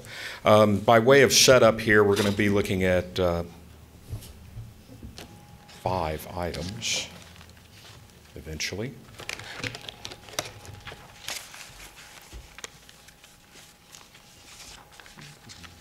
Whoop, I have to go back the other way. Oh, I messed you up, didn't I? Oh, We're good. We will be looking at five items here. Um, Just so you know a little bit about our process, this, uh, these are five of 17 total that we have looked at and gone, You're not going to see them unless we have the ability to try to move forward with them and that there's a real need. And so we do a lot of, of screening ahead of time before you get to, you know, you get a chance to weigh in on this, uh, because these, is- these are really our campus priorities. Um, Those 17 are rated generally on impact timing, which is also an important aspect of all this, and then whether or not they're fitting in with our strategic and master plans and what that impact is. Um, In addition, we have student representation on all of our programming efforts for each project. And so let me go through each of these quickly. Um, What you see here is Schrenk Hall addition and renovation. This is basically a South Campus and a biosciences complex. So this is Phase Three. Um, 30 million has already been invested by S&T and by donors. Uh, This is a renovate and replace. And I will tell you that given the uh, STEM aspects of what our campus does and that focus on it, we have almost every single student on our campus that goes through that building at least once, with at least one class. And there are a number of them that go through. Um, There's a lot of research space and support for faculty and graduate research, and, and that's an important aspect too. You will, the board will recall in uh, previous presentations from President Choi and others that our university is one of the ones that has actually increased the number of faculty over the past few years. Those faculty need the space now to conduct their research and to get their research projects off and running. There's also been an emphasis on trying to increase our research and increase our graduate footprint. This is the next step in order to have that help for our faculty and to increase those areas. Um, This fits absolutely squarely in the center of both our facilities master plan and our campus strategic plan. And uh, I will not go through and tell you all about the pieces of this. You have it in front of you. Um, And as I say, this is phase three. Uh, We are requesting, uh, there's a $54 million request that we have for this, which is basically 56% of the total budget. Our second priority, and this is one that's for 20, and this is one that's for 2018. The Schrenk hall is for 2019, so this one is now. This one is this fiscal year. Um, and this is our Advanced Construction and Materials Laboratory. And by way of background, uh, the board will probably recall that this was on the 50-50 match before. The state um, politely declined to, to come up with their 50 percent. Um, And so, uh, in working with President Choi and the system office, and with our new dean of engineering coming in the door, uh, the university and the president decided to split the remaining 50% between the two of us, so that we are taking care of all of this between the two of us. And so, what that means is that um, S&T's contribution to this total cost of six six million is a little under five million um, when it's when it's all said and done, and the rest of it will be coming from uh, the system office. This is new construction as an addition. This is high bay space. This is very much again squarely in the university strategic plan and facilities master plan. This one is especially relevant with regard to growth uh, in, uh, in the graduate programs and research, especially given the support for in- infrastructure, uh, transportation kinds of things, construction kinds of things. And infrastructure in the U.S. is a really critical need, just generally. And in Missouri, it's particularly critical. Um, as we've heard many places, there are a lot of roads in a lot of terrible shape, and this is one of the areas that, that we have. Um, university transportation projects. We have centers working on this, and this will help advance those kinds of, of projects. Uh, uh, Can I? Yes, sir. Uh, Could you go back to that just very, and the Yes, sir. reason is, I wanted the board to understand that this is a project, if you look at your uh, uh, materials, that's FY uh, 18. 18. This is one of the projects we discussed is specifically grandfathered in. Yes, sir. And, and while this is, uh, we call this Gate A, he's proceeding, uh, they're proceeding directly to uh, project approval, probably when, Ryan? The December meeting. And so, and, and, and the chancellor and I had talked about this, he understands, I think, that I was gonna do this. If there are any questions on this, I think that it is important, uh, to ask them now, because this is farther along than many of the projects that we've seen today. We're really while we're at a preliminary capital improvement, this is grandfathered in and is proceeding directly to approval. Anybody have any questions or discussion on this? If I could just say one thing, probably it is the cheapest research space that we can build in the entire four-campus university area. It is uh, locked and loaded for advanced materials.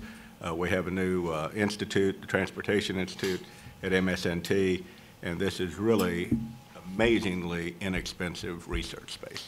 And, and it's, it'll be able to house large equipment. It's that high bay space that is really hard to come by uh, in a lot of places, and often is far more expensive. Thank, thank you, Curator Steelman. I appreciate that. Um, our engineering research laboratory addition and renovation, and what I would point out to you here is that as you see the, uh, the, the three sort of odd square looking shapes, we're talking about adding the larger of the three in order to basically connect a couple of buildings together. And, and this is really for 2020 is where we would be heading with this one. Um, this is really S&T's premier research complex ultimately. Um, it's very interdisciplinary research space. We have a lot of plans for centers and how our centers work and how our research centers work, where we're going to incentivize them to do some inter more interdisciplinary research, start giving them some timelines to be self-sufficient, have them roll in, have them roll out, and really try to incentivize that whole entrepreneurial, find those really cool places at the interstices of, of silos, uh, where silo discipline is. And this would be research space for several of these centers. Um, there would be, in addition to this interdisciplinary research, a lot of graduate student and postdoctoral education that would be going on here. And again, this would be moving the needle dramatically for research. It is, again, squarely in our strategic plan and our facilities master plan. And by connecting these buildings, it really provides an opportunity to connect people together, um, which is really, really critical and really important for these kinds of projects. I have a process question at this point. Certainly. So this one uh, looks like it doesn't require state funding. Um, It's a priority four. The first one that we saw does require state funding. It's a priority one. Um, How do, how- how does the process work since the campus has prioritized one that requires 30, $43 million in state funding, and we have one that's kind of like low-hanging fruit? Doesn't require any state funding. I'll let Chris answer that, although I do have a good idea. I will say, Schrenk is in many ways the hub of the academic mission of uh, MS&T and is, is direly in need of renovation. So I think that that is much of what's driven them. But go ahead.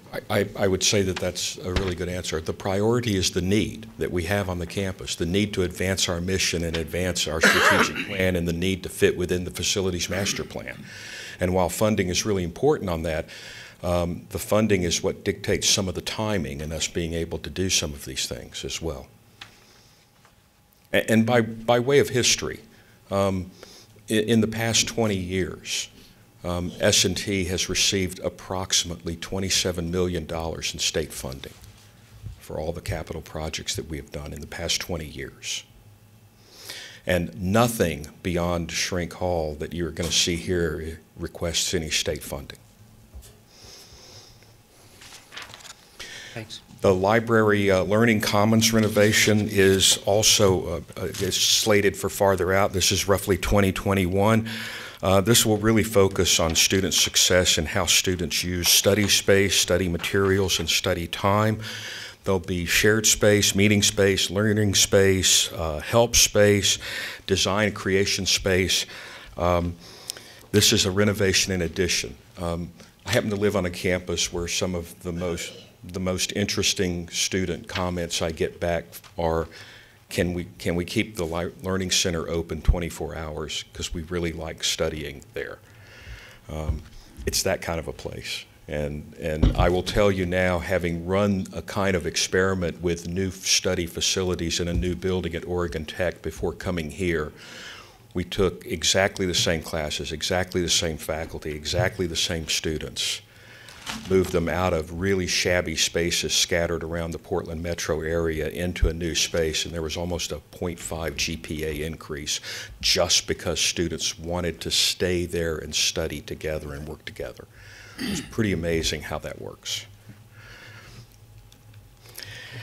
And then the last thing you'll see on the list is the Havener Center renovation and expansion. That's for 2022. Uh, this is our student center. It really has become the center of campus life for so many things. Not only is it a student center, but there's also uh, a lot of uh, food court type of uh, businesses in there. There are meeting rooms for students, for faculty, for staff, for the rest of the university parts of this town use it for various meeting spaces and events that, that they do in Rolla as well. This is a, a new construction renovation, um, and, and really it, it is a focal point for the campus and a gateway to our university. And so um, this one is on the, on the list for 2022 moving forward. I told you I'd be quick. And, and thank you. Any, any discussion or questions for, for, So uh, You have a fair amount to read already with what we've got. If there is no uh, further discussion, may I have a motion and a second from the Finance Committee uh, to approve the further planning and development of the Missouri University of Science and Technology projects presented today and as outlined in the board materials provided to you as part of the MS&T preliminary five-year capital plan. So moved. Cindy? Curator Brncic? Yes. Curator Chatman? Yes. Curator Layman? Yes. Curator Snowden? Yes. Curator Steelman? Yes. Curator Sundvold? Yes. All votes in favor. If if I can say one final thing, Mr. Chairman, I, I want to say again how much I appreciate the work that uh, Ryan and, and their team and Rick, because I'm going to, I'm leaving out people, Eric, uh, Barb, ev- there have been a lot of work put into this. I, I, I hope the curators recognize that staff really made an effort to, to do this in the right way. That doesn't mean it's perfect. I uh, also wanted to say I thank you to the curators because this is an extra meeting that we're biting off, and I hope that the public and, and the administration and faculty and staff understand that the curators have been willing to give of their time to do this very important uh, project and, and uh, go through this material. I would invite each of you to think about what is good and what is bad about this process. You can email Ryan, I've just volunteered you, or me, or Marcy, or every, anybody else, because I, I think there are some tweaks that will be needed going forward, and now while it's fresh in your mind, if you can think of them, we ought to start thinking further. Yeah, on behalf of the board, I want to express our appreciation to uh, David, the Finance Committee, and, and Jeff, to the uh, Compensation and HR Committee for uh, working hard to get this ready for today. And I know that many board members and also chancellors and general officers uh, made arrangements on fairly short notice to be here today for this meeting, and, and we all appreciate that. It was a very important meeting. Uh, It's a meeting that I'm, I'm proud of, and I know we all are, and it, it, uh, it moves us uh, into the future in a, in an enlightened and uh, prepared way. Uh, Is there any further business before the board? You, in- uh, on the agenda, that there's a possibility of an exec- executive session. There is no matter for executive session, so we will not go into executive session. And if there is no further business, uh, the board, or the, the chair would entertain a motion to adjourn. So moved. Cindy, will you call the roll? Curator Brncic? Yes. Curator Chatman? Yes. Curator Farmer? Yes. Curator Graham? Yes. Curator Layman? Yes. Curator Phillips? Yes. Curator Snowden? Yes. Curator Steelman? Yes. Curator Sundvold? Yes. Meeting's adjourned. Jamie, thank you for uh, staying with us the entire time. Appreciate it.